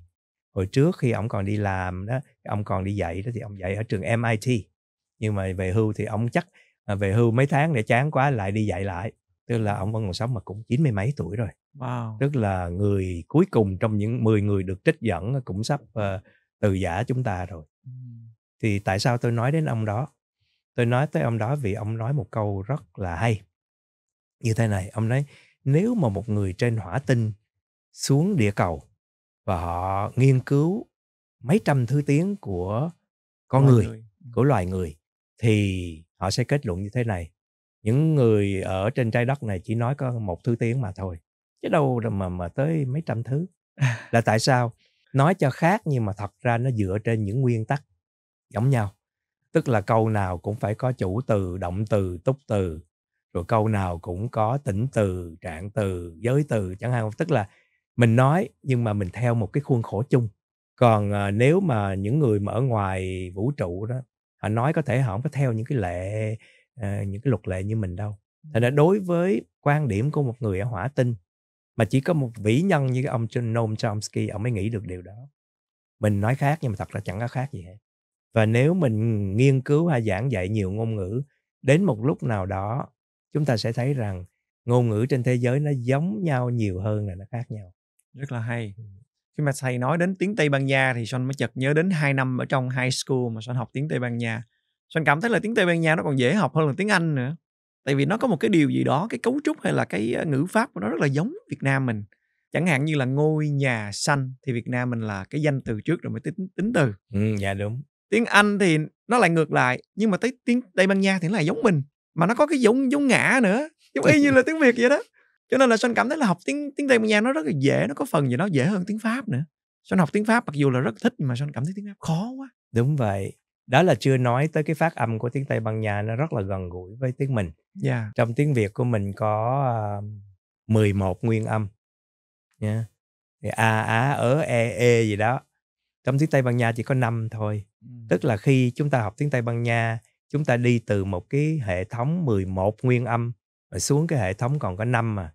Tức là từ nhiều đi xuống ít là thấy dễ rồi. Ừ. cái thứ hai là những nguyên âm của tiếng tây ban nha đọc khá gần gũi với tiếng việt a cũng là a y cũng là y đúng rồi. U cũng là u chỉ hơi khác một chút. O của họ phải đọc là o mà e của họ phải đọc là e nó hơi khác một chút. Mà lỡ mình đọc có trại đi một tí cũng chẳng sao. Đó là lý do một trong những lý, lý do làm cho anh Son cảm thấy là học tiếng Tây Ban Nha nó dễ. Ừ. tôi cũng thấy như vậy tôi nghĩ là người Việt học tiếng Tây Ban Nha cũng dễ mà người Tây Ban Nha học tiếng Việt cũng thấy dễ à, vì nó có những cái chung. Yeah. Dạ, hay quá ha. Lúc nãy thầy thầy có nói đến cái việc gọi là uh, viết lách của thầy thì không biết là viết lách là như thế nào thầy? Son son nghe đến mà son hơi thắc mắc cho nên là son ờ, chưa có dịp hỏi thầy. À, anh hỏi là lách có nghĩa là gì hả? Là là viết lách là là viết sao? lách có nghĩa là có phải chăng là viết lách là mình mình viết một không nói thẳng vào vấn đề nhưng mà mình viết gọi là nhằm một cái ngụ ý gì đó ờ, anh hiểu cái chữ lách đó là như vậy là cũng như nhiều người hỏi. Phải không? Thì thú thiệt như vậy chính tôi cũng không biết cái lách đó nó nghĩa là gì à. nhưng mà người ta thường dùng cái chữ lách đó để người ta chơi chữ. Tức là nhất là trong những cái um, nước mà có cái chế độ kiểm duyệt nó ngặt nghèo đó người ta nói viết lách tức là viết mà phải biết lách à, à lách, lách không đúng như lách luật vậy đó. À, không có biết lách thì là là, là là là đi vào tù chẳng hạn thì đó là à. người ta diễu thôi. À. chứ thú thật là tôi cũng đáng lẽ tôi phải nghiên cứu cái này là lách nó có nghĩa là gì ở đâu mà ra? Thì tôi không biết. Nhưng mà theo cái cách anh Son hiểu cũng như tôi và nhiều người hiểu chỉ hiểu một cách khôi hài lách tức là luồn lách. Ừ. chứ còn không biết tại sao. Mà đó chỉ là một thói quen. Người Việt mình ưa nói chữ uh, chữ đệm hay là chữ kép cho tiếng Việt mình đa số là chữ uh, đơn âm. Nếu mà nói từng chữ từng chữ không thì nghe nó cũng cục lũng. Hay là rốt cuộc chữ nào của mình nó cũng thành hai chữ hết. Anh để ý xem phải không? Ví dụ vui chưa đủ phải vui vẻ à, mừng thì chưa đủ phải mừng rỡ. Thì cái gì nó cũng thành chữ chữ chữ đơn thành chữ kép hết. Nghe nó đầy đặn hơn. Thì đó là tại sao mình nói là viết lách. Thay vì nói tôi viết. Ví dụ như trong tiếng anh họ nói đơn giản thế nói là uh, in my free time I write. À, nhưng mà trong tiếng việt mình thì thường nói ồ rảnh rảnh tôi cũng viết lách nghe nó đầy đặn chứ uh, mỗi lần rảnh thì tôi viết. Thì nghe nó cũng hơi thiếu thiếu. Thiếu thiếu nhưng mà đó là tôi nợ mọi người và chính tôi là cái chữ lách là nghĩa là gì? Đó viết là... bài nó viết bài không được hả thầy? Viết bài thì nó không biết bài gì. À. viết lách này có có cái ý nó là creative writing. Right. viết lách có nghĩa là sáng tác viết văn chương thì cứ là viết lách. Chứ còn viết bài thí dụ anh phải viết cái bài diễn văn speech thì mới gọi là viết bài chứ. Hay là anh anh là journalist anh viết bài. Thí dụ như anh làm phóng viên anh nói thôi tôi xin lỗi tôi phải đi về tôi phải viết bài để tôi có bài tôi nộp. Thường thường viết bài nó có nghĩa là to write an article. Còn viết chơi chơi không thì mình nói là gì? Tiêu khiển thôi. Viết chơi thôi hả? Giống như viết journal viết chơi trên facebook blogging đồ này nọ đó thầy thì mình phải nói như thế nào? Tôi nghĩ dùng chữ viết lách cũng được nhưng mà theo tôi thấy thường thường người ta dùng chữ viết lách với cái với cái ý nghĩa là à, làm văn chương. Còn viết như kiểu anh nói viết blog viết facebook thì tôi không nghĩ là mình nên dùng chữ viết lách. Cũng có chữ à nha. Ngộ ha khó quá. Khi mà nói đến Facebook thì Son mới um, uh, nghĩ ra một cái một cái từ nữa mà Son cũng thấy nó hơi kỳ kỳ nó hơi weird weird khi mà người Việt Nam mình dịch từ tiếng Anh sang tiếng Việt đó. Có nghĩa là khi mà người ta để một cái status nào đó ở trên Facebook hoặc là ở đâu đó thì bên Việt Nam dịch là một trạng thái. Thì khi mà nói đến trạng thái thì Son lại hiểu là trạng thái là giống như nó mang một cái emotion gì đó chứ không phải là một cái status bình thường. Nói theo kiểu bình dân á một à. cái chữ như chữ trạng thái ta kêu là chết chữ rồi. Tức là nó đã như vậy rồi mặc dù nó sai cũng làm gì với nó được nó chết rồi. Giống như ai bị đặt một cái tên mà đặt tên lóng á tới là ai đặt cho mình một cái tên cái nó kêu là chết tên rồi. À, không? Thì theo tôi đoán á, là như vậy. Cái người nào đầu tiên ở Việt Nam mà nghĩ là bây giờ mình phải kiếm một chữ tiếng Việt cho chữ status mà không biết nó là cái gì á thôi thì mở từ điển ra đi. Mà cái chữ đầu tiên thấy nằm đằng sau chữ status á, là trạng thái. Đúng rồi. Thế thì ok that's it status là trạng thái done deal Ờ. và chữ đó là chết luôn chứ nó đâu có đúng như anh nói y như là anh nói Ừ. trạng thái nó là là là cái là một cái uh, state thì đúng hơn Ừ. thế nên trong uh, tôi đang ở một cái trạng thái uh, uh, nửa tỉnh nửa mê chẳng hạn không? chứ còn uh, status đâu có phải vậy họ nói là tôi đang đăng một cái dòng trạng thái trên Facebook ừ. nó nghe nó Ừ. ngược ngạo như thế nào đó yeah, không có xuôi tai sao không bao giờ dùng cái từ đó được yeah. Yeah.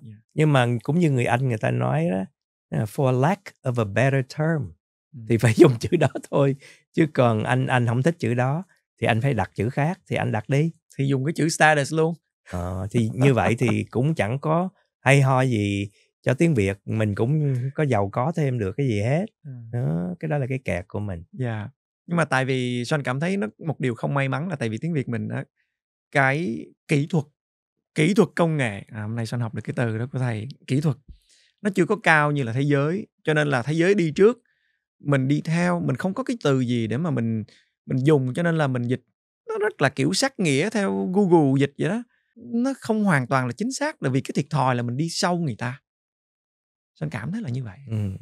nhưng mà thà nếu mà đặt trường hợp là son thì son dùng luôn cái tiếng của người ta lỡ theo sau là thôi dùng luôn cái tiếng khi mà người ta phát minh ra cái từ đó thì mình dùng cái từ đó luôn thì thật ra mình đã có hai chữ rồi đó Dạ. là kỹ thuật với công nghệ thì thì mình chọn chữ nào thôi chứ chữ nào cũng đúng hết đó là trường hợp đó nhưng mà à, nói qua cái trường hợp khác là có nhiều chữ nó bị đổi nghĩa mà chúng ta thấy là chữ đổi nghĩa nó nó nó nó xảy ra trong bất cứ thứ tiếng nào một à, ví dụ trong tiếng việt là chữ động viên ừ. động viên thì à, từ khi mà mình mượn tiếng tiếng tàu cho đến gần đây đó có nghĩa là tiếng anh là to mobilize nên là bắt người ta vào lính. Rồi anh anh là là lính mỹ gốc việt. Anh có bị mobilize hay là tự anh đi? Tự nguyện thôi. Tự nguyện. Dạ từ Rồi. năm 73 là không còn ờ, kiểu có bị- chắc lính nữa. không có bị mobilize. Dạ không. Tức là anh không bị động viên. Thì trong tiếng việt truyền thống của chúng ta đó động viên có nghĩa là bị gọi vào lính muốn hay không muốn cũng phải cũng phải vào. Giống như trong tình tình trạng à, chiến tranh thì phải bị động viên. Thì không bị hiểu tới một lúc nào đó, không biết có lấy cái cái nghĩa đó của bên Trung Hoa không, mà lại biến nó thành là to encourage, to console. Tức là tôi thấy người đó đang gặp một cái hoàn cảnh khó khăn, tôi động viên người đó. Đó là cái cái chữ dùng với nghĩa mới đó thì nhiều khi tôi mới nói khôi hài anh biết không tôi ờ, tôi nghĩ là tôi đi dạy đó mình cái cái cái chủ đề của mình là ngôn ngữ nhiều khi nó cũng khô khan lắm. Phải làm cho nó vui thành ra lớp, của tôi á, cười nhiều hơn học. Thành chi cho cho cho mấy em nó quên là nó phải học đi nó cười. Nhiều khi vậy mình nhớ dai hơn. Dạ mà vậy thì thì đúng mà mà đúng là nhớ dài hơn nó vui đó. Dạ. Thì tôi mới ờ, nói đùa là trời đất ơi tôi đang buồn mà có người bạn tới nói anh đang buồn hả? Thôi đây tôi ngồi đây tôi động viên anh một chút. Thì tôi mới nói, trời ơi, sao anh ác quá vậy? Tôi đang buồn mà, tôi còn, anh còn bắt tôi đi lính nữa. Thành ra nó cũng tội cho tôi. Tại vì chứ động viên tôi hiểu là bắt đi lính, chứ không phải là an ủi. Tại mình thiếu gì chữ? Khích lệ, an ủi, khuyến khích. Mà bây giờ nó thành động viên. Và cái vấn đề của chúng ta là như thế này nhiều khi mình nói chữ đó không được thì người khác hỏi "Ờ, nếu anh không dùng chữ đó thì anh dùng chữ nào? Thì nhiều lúc mình bị kẹt. À mình đang nói chữ đó không được mà người ta hỏi dùng chữ nào thì mình không có sẵn sàng để có. Dạ. cách đây một hai hôm tôi bị cái trường hợp đó thì tôi nói tôi không có thích nghe cái chữ động não. Nghe nó nó dữ dội quá.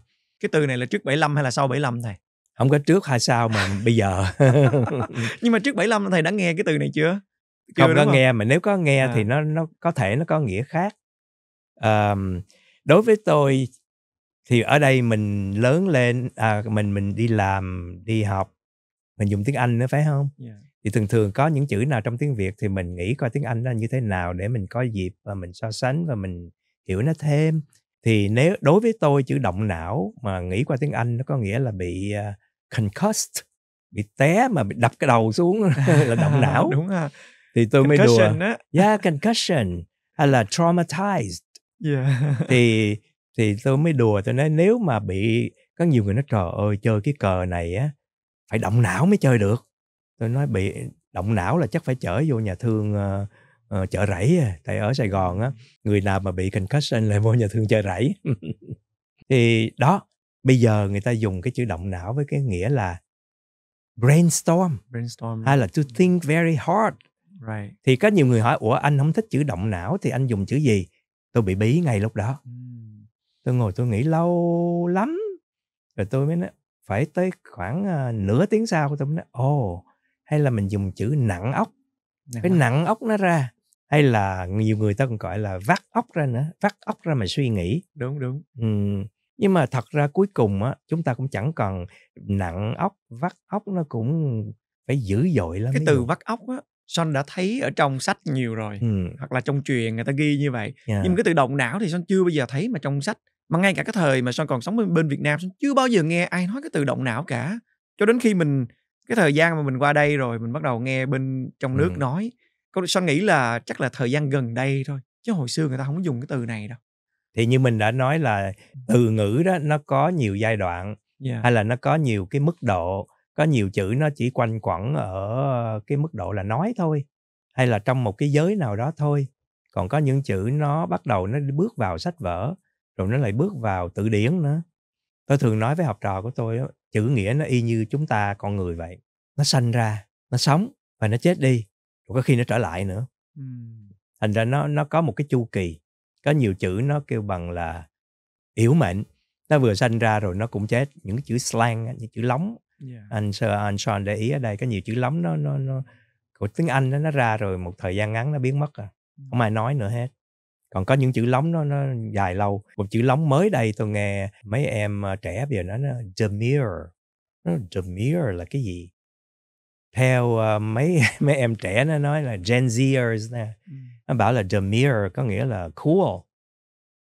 Nhưng mà tôi mới vào ừ, từ điển tôi coi lại demure có nghĩa là chỉ nói về cái người nào mà shy hay là reserved mà không hiểu sao mấy em mới bây giờ dùng chữ demure mà lại đổi cái nghĩa đó đi có nghĩa là uh, slick hay là slick hay là chắc anh soi nghe mấy em nhỏ thích cái gì đó so sick à, tự nhiên so sick. Yeah. thì bây giờ demure nó là như vậy mà trong khi cái nghĩa chính của demure chỉ là cái người nhút nhát uh, dè dặt thì uh, suy ra tiếng việt cũng vậy uh, nhiều chữ lóng nó, nó nó ra rồi rồi nó nó nó nó phát triển theo một cái chiều hướng nào rồi bị cái giới trẻ giới trẻ là cái giới phải nói là ăn nói uh, hơi thiếu trách nhiệm. Ừ. tại vì trẻ mà đâu cần phải phải phải phải cẩn thận thận trọng như người lớn đâu. Thì chính mấy em đó mới cho những cái chữ đó những cái nghĩa mới. Mà nhiều khi mấy em đó mới là những người quyết định cái vận mệnh của cái tiếng của mình trong tương lai. Vì nhiều thế hệ lớn rồi cũng phải thui chột tàn rụi đi thì những người còn lại là ai? Là mấy em? Lớn lên và nắm cái vận mệnh của một ngôn ngữ trong tay của mình. Mà cái chuyện đó nó xảy ra cả trăm cả ngàn năm nay rồi. Mình không có làm gì được hết. Mình chỉ cầu mong là các em là những người nắm giữ vận mệnh ngôn ngữ trong tay thì mấy em làm ơn cẩn thận dùng chút. Chứ còn ngoài ra mình không làm gì được hết. Lúc nãy thầy nói thay vì cái từ động não thì là mình dùng cái gì nặng ốc, ốc nặng hay ốc. là vắt ốc nhưng mà sau cùng tôi nghĩ chỉ cần nói như thế này thôi. Ví dụ người ta nói chơi cái cờ này khó lắm anh phải động não anh mới chơi được. Thì mình chỉ còn nói anh phải suy nghĩ nhiều lắm mới chơi được thôi suy nghĩ. Suy nghĩ nhiều chứ chứ mình đâu có phải động não để kiếm cái chữ gì khác. Chữ đó là chữ suy nghĩ thôi hoặc làm thêm chữ nhiều. Hoặc là tập trung được không tập trung tập trung mà tập trung cái gì? À. tập trung tư tưởng thường thường ta nói tập trung là là là concentrate hả nhưng mà trong tiếng nó giống như chữ trao đổi tập trung thì phải tập trung cái gì nó anh phải tập trung tư tưởng thì đúng hơn suy nghĩ thì nó nó đủ nó rồi broad yeah. hơn dạ yeah. à. thì ví dụ nó à, bà thay vì nói cái chữ kia thì mình nói cái loại cờ này nó khó lắm anh phải suy nghĩ dữ lắm á ừ. thì mới chơi được vậy thôi chứ còn động não nghe ghê gớm yeah. nghe nó nó có vẻ cái gì mà liên quan đến não hoặc là óc xong thấy nó ghê ghê sao? Ừ. một chữ khác không được nữa văn minh cũng dính chữ não là não trạng. À, não trạng là cái chữ ờ, bây giờ người ta dùng ờ, hình như ở Việt Nam dùng nhiều hơn. Để dịch cái chữ mentality. À, thí dụ nói anh ấy ờ, tôi không thích cái cái cái não trạng của ảnh đâu. À, đại cái là I don't like that kind of mentality. Nghe nó cũng nặng nề quá nó không có sai nhưng mà nó to to tác quá. Một cái vấn đề khác trong ờ, khi chúng ta ăn nói hay là viết lách ừ. là có những chữ có những cái trường hợp nó không có đáng thì chị dùng chữ to quá. Còn có những trường hợp nó rất là nghiêm trọng thì lại dùng chữ nhỏ quá. Ừ. à, nó nó không có thích hợp. Đây gọi là chắc là thiếu vốn từ hả thầy? Hoặc là không có hiểu cặn kẽ. Nó nhiều lý do lắm. À, à, anh nghĩ cho cùng đi bất cứ chuyện gì ở trên đời này mình không thể đem một lý do mà mình nói tại sao nó như vậy. Nó nhiều lý do lắm. Mà một trong những lý do là như anh anh nói là không đủ. Ừ. mà một lý do khác nữa cũng có thể là nhiều người người thích dùng chữ lớn để cho nó oai. Cho nó oai. Ừ. còn nếu mà không dùng cái từ não trạng thì thầy dùng từ gì? À, mình dùng cái cách suy nghĩ thôi. The way you suy think nghĩ. phải không? À, cái mentality hay là cái mindset ừ. Là the way you think thì mình nói nhẹ nhàng thôi ồ cái cách suy nghĩ đó hay là cái lối suy nghĩ đó nó không có hợp thời Nếu mình nói não trạng ôi giờ nghe nó to tác nặng nề quá cái từ đó có vẻ giống như tấn công một ai quá thầy Yeah. ví dụ như ai mà nói son như vậy thì son cảm giác giống như mình Ừ. feel offended đó Ừ. tự nhiên cái ồ cái não trạng của anh Ừ. như thế này thế kia what?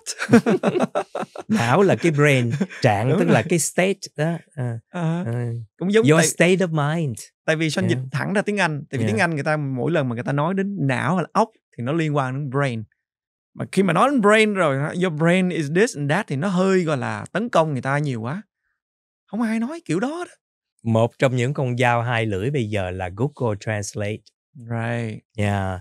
Ờ, chính tôi cũng dùng Google Translate nếu cần. Nhưng mà tôi nói với các em học trò của tôi dùng Google Translate một cách thận trọng. Mình phải có một cái hiểu biết nhất định và mình phải có cái sự thận trọng chứ không thể thấy người ta thấy thấy Google Translate nó dịch như thế nào thì mình cứ lấy y như vậy mình dịch là là không được. rất là đúng Nếu mình biết cách dùng Google Translate Yeah. nó là một cái ờ, phương tiện rất là hữu hiệu nhưng mà nó cũng là một con dao hai lưỡi nhất là những người chưa có rành tiếng việt đừng có ỷ lại nó nhiều quá tại Yeah. vì họ dịch nhiều khi nó cũng kỳ cục lắm. Yeah. dạ sát nghĩa quá. Tôi nghĩ cái chữ não trạng là do cái chữ state of mind. State tức là trạng thái đó. Dạ mind là cái não thì nó đúng nhưng mà dùng đến lúc nào và có lẽ hình như cũng không cần cái chữ đó nó nó nó son không thích từ đó? Yeah, nó to tác quá. Não trạng hoặc là trạng thái. Ồ không bao giờ dùng những cái từ đó. Nhưng mà lúc nãy thầy có chia sẻ là tiếng Việt trước năm 75 và sau năm 75 cũng như là tiếng Việt hải ngoại và tiếng Việt trong nước. Nó cũng không đúng cũng không sai à, nó cũng chấp nhận được nhưng mà thầy thích tiếng Việt nào hơn? Theo cá nhân của thầy.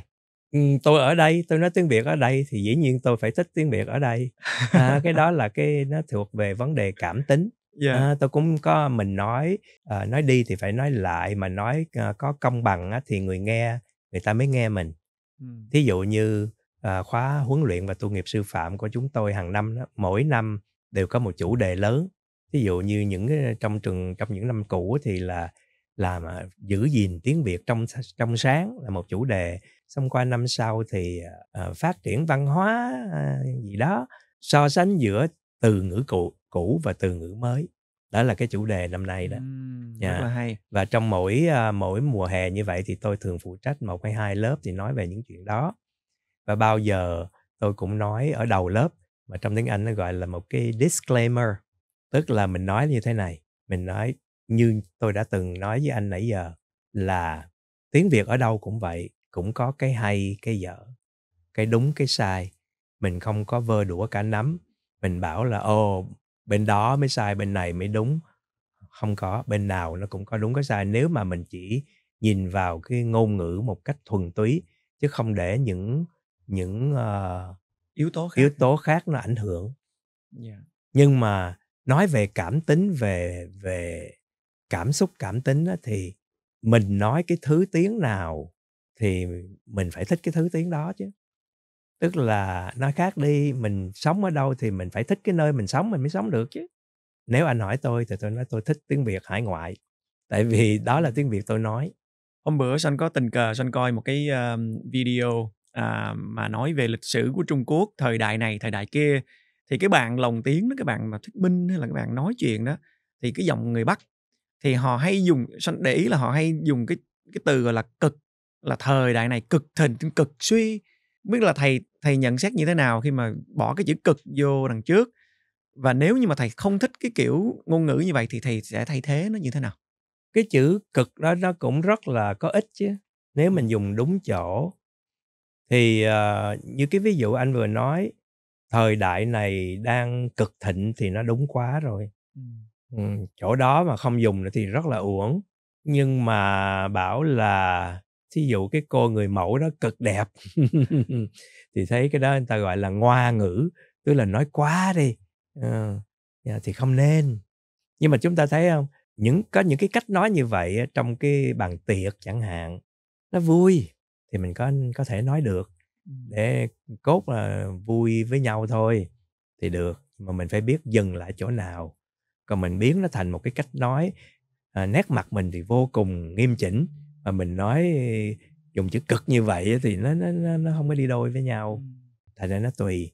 Chứ cái nội riêng cái chữ cực nó không có nó không, không sai. có, không sai. Ừ. và dùng đúng thì nó lại hay nữa là đằng khác. Yeah. Dạ. còn bài hát cực hay cũng không đúng hả thầy? Nói cực hay thầy chấp nhận được không? Nếu anh muốn quảng cáo cho bài đó thì anh nói nếu mà nói có một cái uh, tác dụng nào đó thì tại sao không? Ừ. nhưng mà mình cũng biết là trong ngôn ngữ nó có cái, cái gọi là register tức là mình dùng cái ngôn ngữ đó ở đâu và lúc nào và với ai. Mình nói với người nào thì mình phải nói theo cái cái cái chiều hướng đó. À, ví dụ mình nói với một ông tổng thống mình nói khác mình nói với bạn mình mình nói khác mình nói với người yêu mình mình nói khác mình nói với cha mẹ mình mình nói khác. Cái đó là cái different registers phải nói là tùy người tùy lúc tùy chỗ. Và tùy cái mục đích của mình nữa mình đang dùng ngôn ngữ để làm gì. Phải có một cái sự uyển chuyển ở trong phải đó. phải có dạ. Ừ, rất là hay. Wow. Hôm nay uh, có mặt thầy trong chương trình này thì son học hỏi được rất là nhiều vấn đề về uh, ngôn ngữ tiếng việt. Son cảm thấy uh, tiếng việt thật là phong phú quá là đa dạng đi. Chắc học cả đời này cũng không học hết đâu.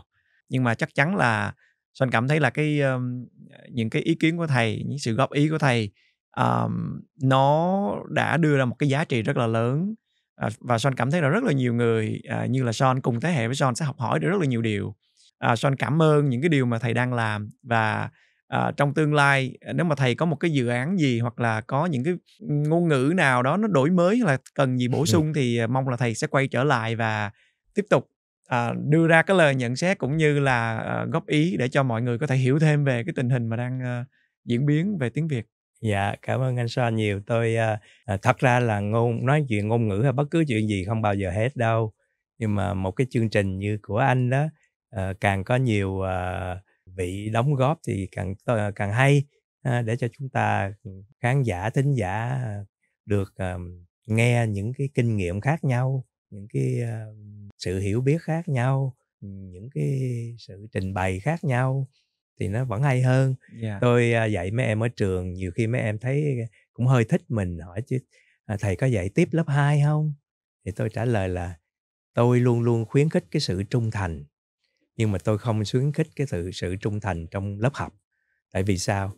Sang lớp 2 các em nên lấy một giáo sư khác để mình biết được một cái loại kiến thức khác một loại kinh nghiệm khác một cái cách dạy khác à. chứ đừng có trung thành với một người nó chán lắm trung thành nó hay nhưng mà không nên trung thành trong cái việc lấy lớp à thì nói lớp 2 đâu phải là lớp 1 lớp 2 kiểu uh, sư phạm Việt à, Nam à, không nó ý là cấp à. 1 cái dụ nó là Spanish one à. rồi qua Spanish two hay là à. Vietnamese one Vietnamese à. two vậy như phần 1 phần 2 dạ, đó. dạ. À. ý ý nói là nhiều nhiều khi mấy em quyến luyến mình là dạ. cũng thích là ờ uh, biết là ông thầy này ông cho điểm như thế nào rồi thì mùa sau lấy ông đó thì mình cũng dễ hơn. À. nhưng mà tôi khuyến khích các em nên nên nên học nhiều người để biết được nhiều thứ nhiều cái teaching style à, nhiều cái knowledge nhiều cái kinh nghiệm khác nhau. Nó hay lắm. Nhưng mà những đồng nghiệp của thầy đó những giáo sư khác đó họ có cùng quan điểm với thầy không ít nhất là trong cái cái cái ờ, cái cách trình bày ngôn ngữ của uh...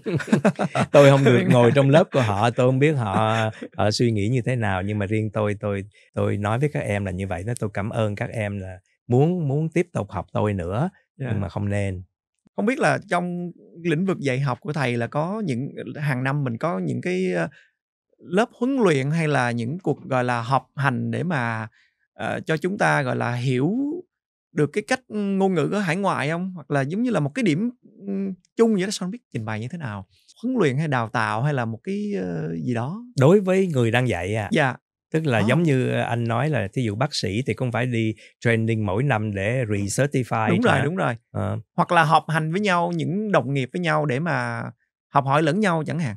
Cái đó có nhưng mà nó ở trong uh, cấp uh, tiểu học hay là trung học ở đây ở nước Mỹ yeah. Dạ. còn ở đại học thì khác là như thế này nó có như là cái hình thức nó là đi conference khi co đi conference thì uh, chính giáo sư có thể trình bày một vấn đề nào đó hoặc là vào một cái workshop của giáo sư khác để nghe đó là là theo cái ý của anh là có yeah. yeah, phải có conference uh, mình phải đi dự để mà mở mang kiến thức trao đổi kinh nghiệm có chứ yeah. và đặc biệt nữa là họ có dự giờ để họ coi mình dạy dỗ ra sao. Yeah. họ vào họ dự giờ rồi họ mới sau cái buổi đó họ mới gặp với mình họ nói là ồ tôi thấy anh làm thế này thì hay cái thế kia thì chưa hay. Cái đó cũng là một cách uh, giúp mình trao dồi nghề nghiệp còn đối với những uh, giáo sư mà ở trong nước thì như thế nào thầy có học hành uh, lâu lâu học một buổi để mà trao đổi ý kiến hoặc là kiến thức với nhau cái không? đó thì làm sao tôi biết được yeah, à. tôi không có biết hồi đó tôi chỉ ở Việt Nam mà học cho xong rồi đi làm thư viện thì qua tới đây thôi chứ không có được ở trong cái hệ thống giáo dục mà kêu là đi dạy à. uh, ở bên đó đúng ra là tôi học bên đó tôi học trường cao đẳng thì khi ra trường tôi sẽ dạy cấp 2 ừ. tiếng Anh yeah. Nhưng mà định mệnh nó dung dũi là tôi ra thì tôi lại được giới thiệu làm thư viện mà kêu là họ kêu là thư viện ngoại văn tức là ngoại ngữ đó ừ. Ừ.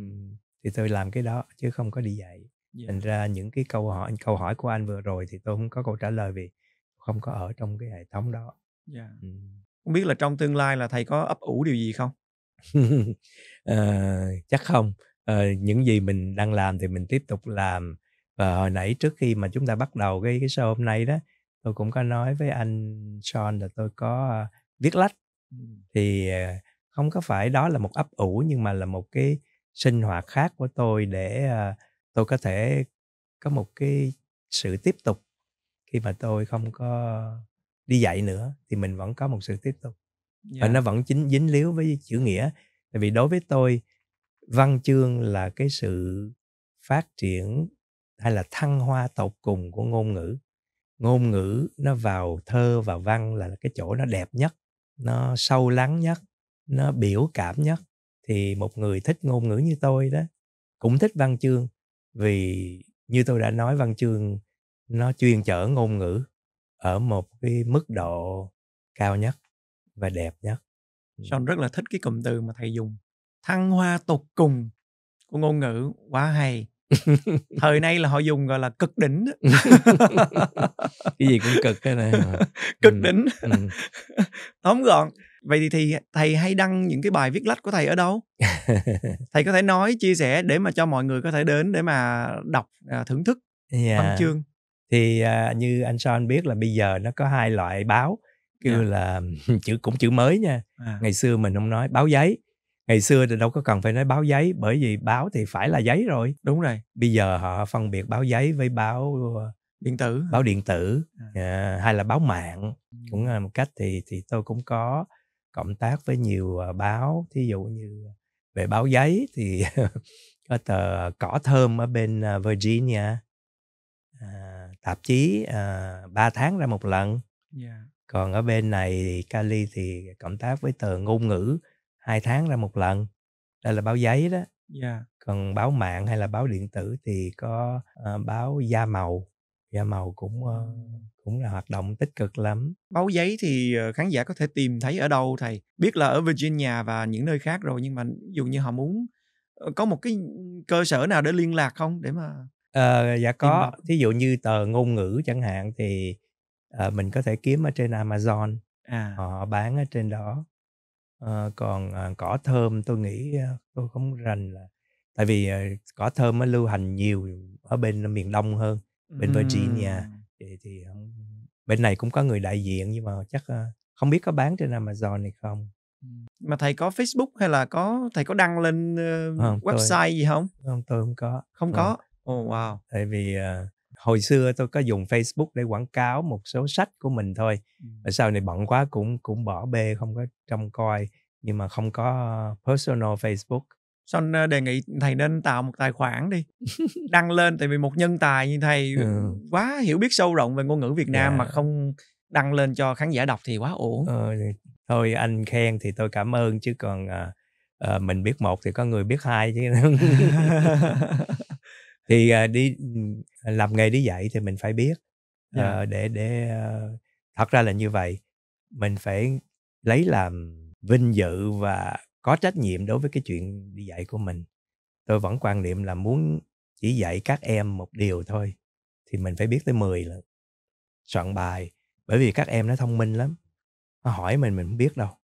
Mình phải chuẩn bị nhiều khi mình soạn 10 điều mình vào trong lớp mình nói một hai thôi còn bảy tám điều cất đó nhưng mà không biết được. Cái thời gian tôi đi dạy tôi thấy tôi học nhiều hơn là thời gian tôi đi học.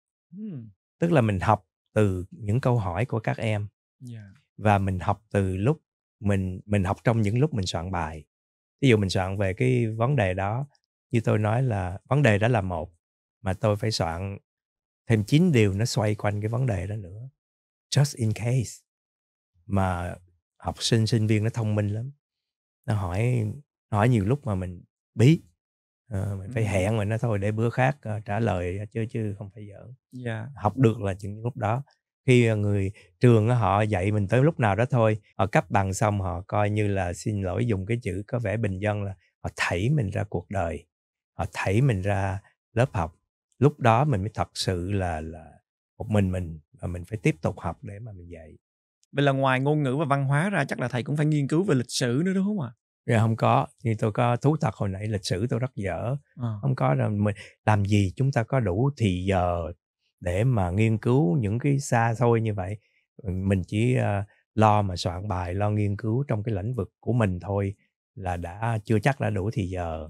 Nếu cần thí dụ như tôi muốn nói về cái ờ, tiếng pháp mà Quebec qua chẳng hạn Đó, lúc đó, đó thì đó. tôi mới kẹt thì tôi mới đi tìm hiểu ờ tôi biết cái tiếng đó tiếng đó nó là như vậy nhưng mà để nói ra thì tôi phải đi coi ờ, để cái tiếng đó nó bắt đầu từ thế kỷ nào. Ừ. lúc đó thì may ra tôi phải tìm hiểu một chút về lịch sử. Dạ. Dạ. không Son thấy thầy khiêm tốn thôi? Chứ thực ra nghiên cứu về vấn đề ngôn ngữ là mình cũng phải nghiên cứu về lịch sử rất là nhiều. Nếu mà không thì chắc là thầy không thể nào nói được những cái ờ, lịch sử về ngôn ngữ Việt Nam liên quan đến người Pháp rồi người Tây Ban Nha rồi người Ý những cái mốc thời gian như vậy nhưng mà anh Son nghĩ Dạ. xem mỗi người chúng ta đều phải làm những việc như vậy Ừ. ví dụ những chuyện anh làm có thể không giống những chuyện của tôi làm nhưng mà chung quy thì chúng ta đều phải nghiên cứu tìm hiểu này Dạ. nọ để để mà nói chứ dạ đúng phải không Ừ. rốt cuộc là chúng ta đều phải à, cố gắng và tìm hiểu như ai Đúng vậy. Rồi, cảm ơn thầy rất là nhiều nhé Dạ. một lần nữa có mặt trong chương trình ngày hôm nay. Chúc cho thầy ờ, thật là nhiều may mắn và công việc dạy của thầy sẽ lan tỏa đến nhiều người. À, và hy vọng một lần nữa là trong tương lai là thầy sẽ có một cái trang Facebook hay là website gì đó để cho bạn đọc tìm đến ờ, khán giả tìm đến để mà đọc ờm, tôi thì tôi như tôi thầy. nói là tôi Dạ. là là cũng ờ, cũng tạm gọi là biết lách thì tôi cũng mong có độc giả đọc những cái tác phẩm của mình nhưng mà không có phải thông qua Facebook hay là cái gì hết Dạ. à, cả- các um, độc à, khán giả hay là độc giả muốn à, xem à, những gì tôi viết và tất cả những gì những người khác viết thì à, có thể ừm, tìm tới những cái tờ báo như à, đã nói là tờ da màu org Ừ. nha, da màu viết với nhau và org đó là báo mạng à, còn báo à, giấy thì có tờ ngôn ngữ hai tháng ra một lần xuất bản ở California và và tờ cỏ thơm thì ở bên Virginia à, chương trình của anh Sean là đi khắp nước Mỹ hả? khắp thế giới luôn thầy. Ờ, như Dạ. vậy thì thì thì à, khán giả nào ở bên Virginia cũng biết là tìm tới tờ cỏ thơm như thế nào. Dạ, chắc chắn. Ừm. Dạ. Rồi. Dạ vâng, cảm ơn Dạ, thầy rất là nhiều. Cảm ơn anh Dạ. Sean Lê rất là nhiều. Dạ. Bye bye thầy. Cảm ơn quý vị rất nhiều đã đón xem video ngày hôm nay. Mong là quý vị hãy bấm nút subscribe và đừng quên ủng hộ cho ekip chúng tôi bằng cách là vào website seanleyshow.com hoặc gọi số phone vào 714 703 6348 714 703 6348 để mua những cuốn sách hoặc những sản phẩm tốt cho sức khỏe, ủng hộ cho ekip của chúng tôi. Và sau cùng, Sean Lê có một lời kêu gọi mong là quý vị hãy tham gia chương trình. Như quý vị biết đó, mục đích của chương trình chúng ta là có thể lắng nghe những câu chuyện từ mọi thế hệ, mọi tầng lớp khác nhau trong cộng đồng để mà qua đó chúng ta có thể thấu hiểu nhau và xích lại gần nhau hơn một chút để chúng ta có thể liên kết nhau lại tạo nên một sức mạnh và tiếng nói của chúng ta sẽ đi xa hơn. Chỉ cần là quý vị có những câu chuyện đem lại giá trị cho cộng đồng hoặc đơn thuần là những câu chuyện đem lại niềm vui, tiếng cười cho khán thính giả thì quý vị hãy liên lạc cho Lê qua email người Việt Hải Ngoại 2024 at gmail.com hoặc số điện thoại 714 703 6348. Mong là quý vị hãy hưởng ứng lời kêu gọi này của Sơn Lê nhé. Cảm ơn quý vị rất nhiều. Chúc quý vị thật nhiều sức khỏe và hẹn gặp lại quý vị trong những video lần tới. Thân ái kính chào. Kính thưa quý vị, Sơn Lê muốn giới thiệu đến quý vị một nhà tài trợ cho chương trình ngày hôm nay. Đó là văn phòng In Good Hands Tax Services, là sự lựa chọn tuyệt vời cho các tiềm neo, nhà hàng và các doanh nghiệp nhỏ khác cần sự hỗ trợ về thuế. Khi đến với văn phòng In Good Hands Services, quý vị có thể hoàn toàn yên tâm vì văn phòng sẽ giải quyết mọi rào cản về ngôn ngữ. Đội ngũ chuyên viên của văn phòng thông thạo tiếng Anh lẫn tiếng Việt sẽ bảo đảm rằng mọi thông tin liên quan về thuế sẽ đều được diễn đạt một cách chính xác, rõ ràng và dễ hiểu. Hơn nữa, văn phòng rất hãnh diện về kiến thức sâu rộng về hệ thống IRS và khả năng điều hướng qua các quy trình phức tạp của nó. Với hơn 100 năm kinh nghiệm của tất cả những nhân viên văn phòng gộp lại, In Good Hand Tax Services hiểu rõ các cách thức hoạt động của IRS và biết cách tối ưu hóa tình hình thuế của quý vị trong khuôn khổ của pháp luật. Sự am hiểu này giúp văn phòng đưa ra những lời khuyên có giá trị và chiến lược khai thuế hiệu quả cho các doanh nghiệp của quý vị. Đừng để những vấn đề thuế má trở thành gánh nặng cho doanh nghiệp của quý vị. Hãy để In Good Hand Tax Services đồng hành cùng quý vị mang lại sự an tâm và hiệu quả trong mọi vấn đề liên quan đến thuế. Quý vị hãy liên lạc ngay với công ty qua số điện thoại 714 643 9079 714 643 9079. Cảm ơn tất cả quý vị. Kính mời quý cô chú anh chị ghé thăm quán ông trẻ tại Houston, Texas. Quán được thiết kế theo phong cách trẻ trung, khang trang và sạch sẽ. Ngoài cà phê và bánh bê nhê trứ danh, menu của quán được bổ sung nhiều thức uống và đồ dessert phong phú và đa dạng, giúp thực khách có thêm nhiều sự lựa chọn. Đặc biệt, có món bánh cuốn gia truyền 103 năm, trải dài 4 thế hệ, từ Bắc vô Nam và sang tận đến Hoa Kỳ. Ngoài lợi thế nằm trong khu trung tâm người Việt, không gian của quán còn phù hợp cho mọi lứa tuổi, là nơi lý tưởng để tiếp khách từ phương xa, gặp gỡ gia đình, bạn bè.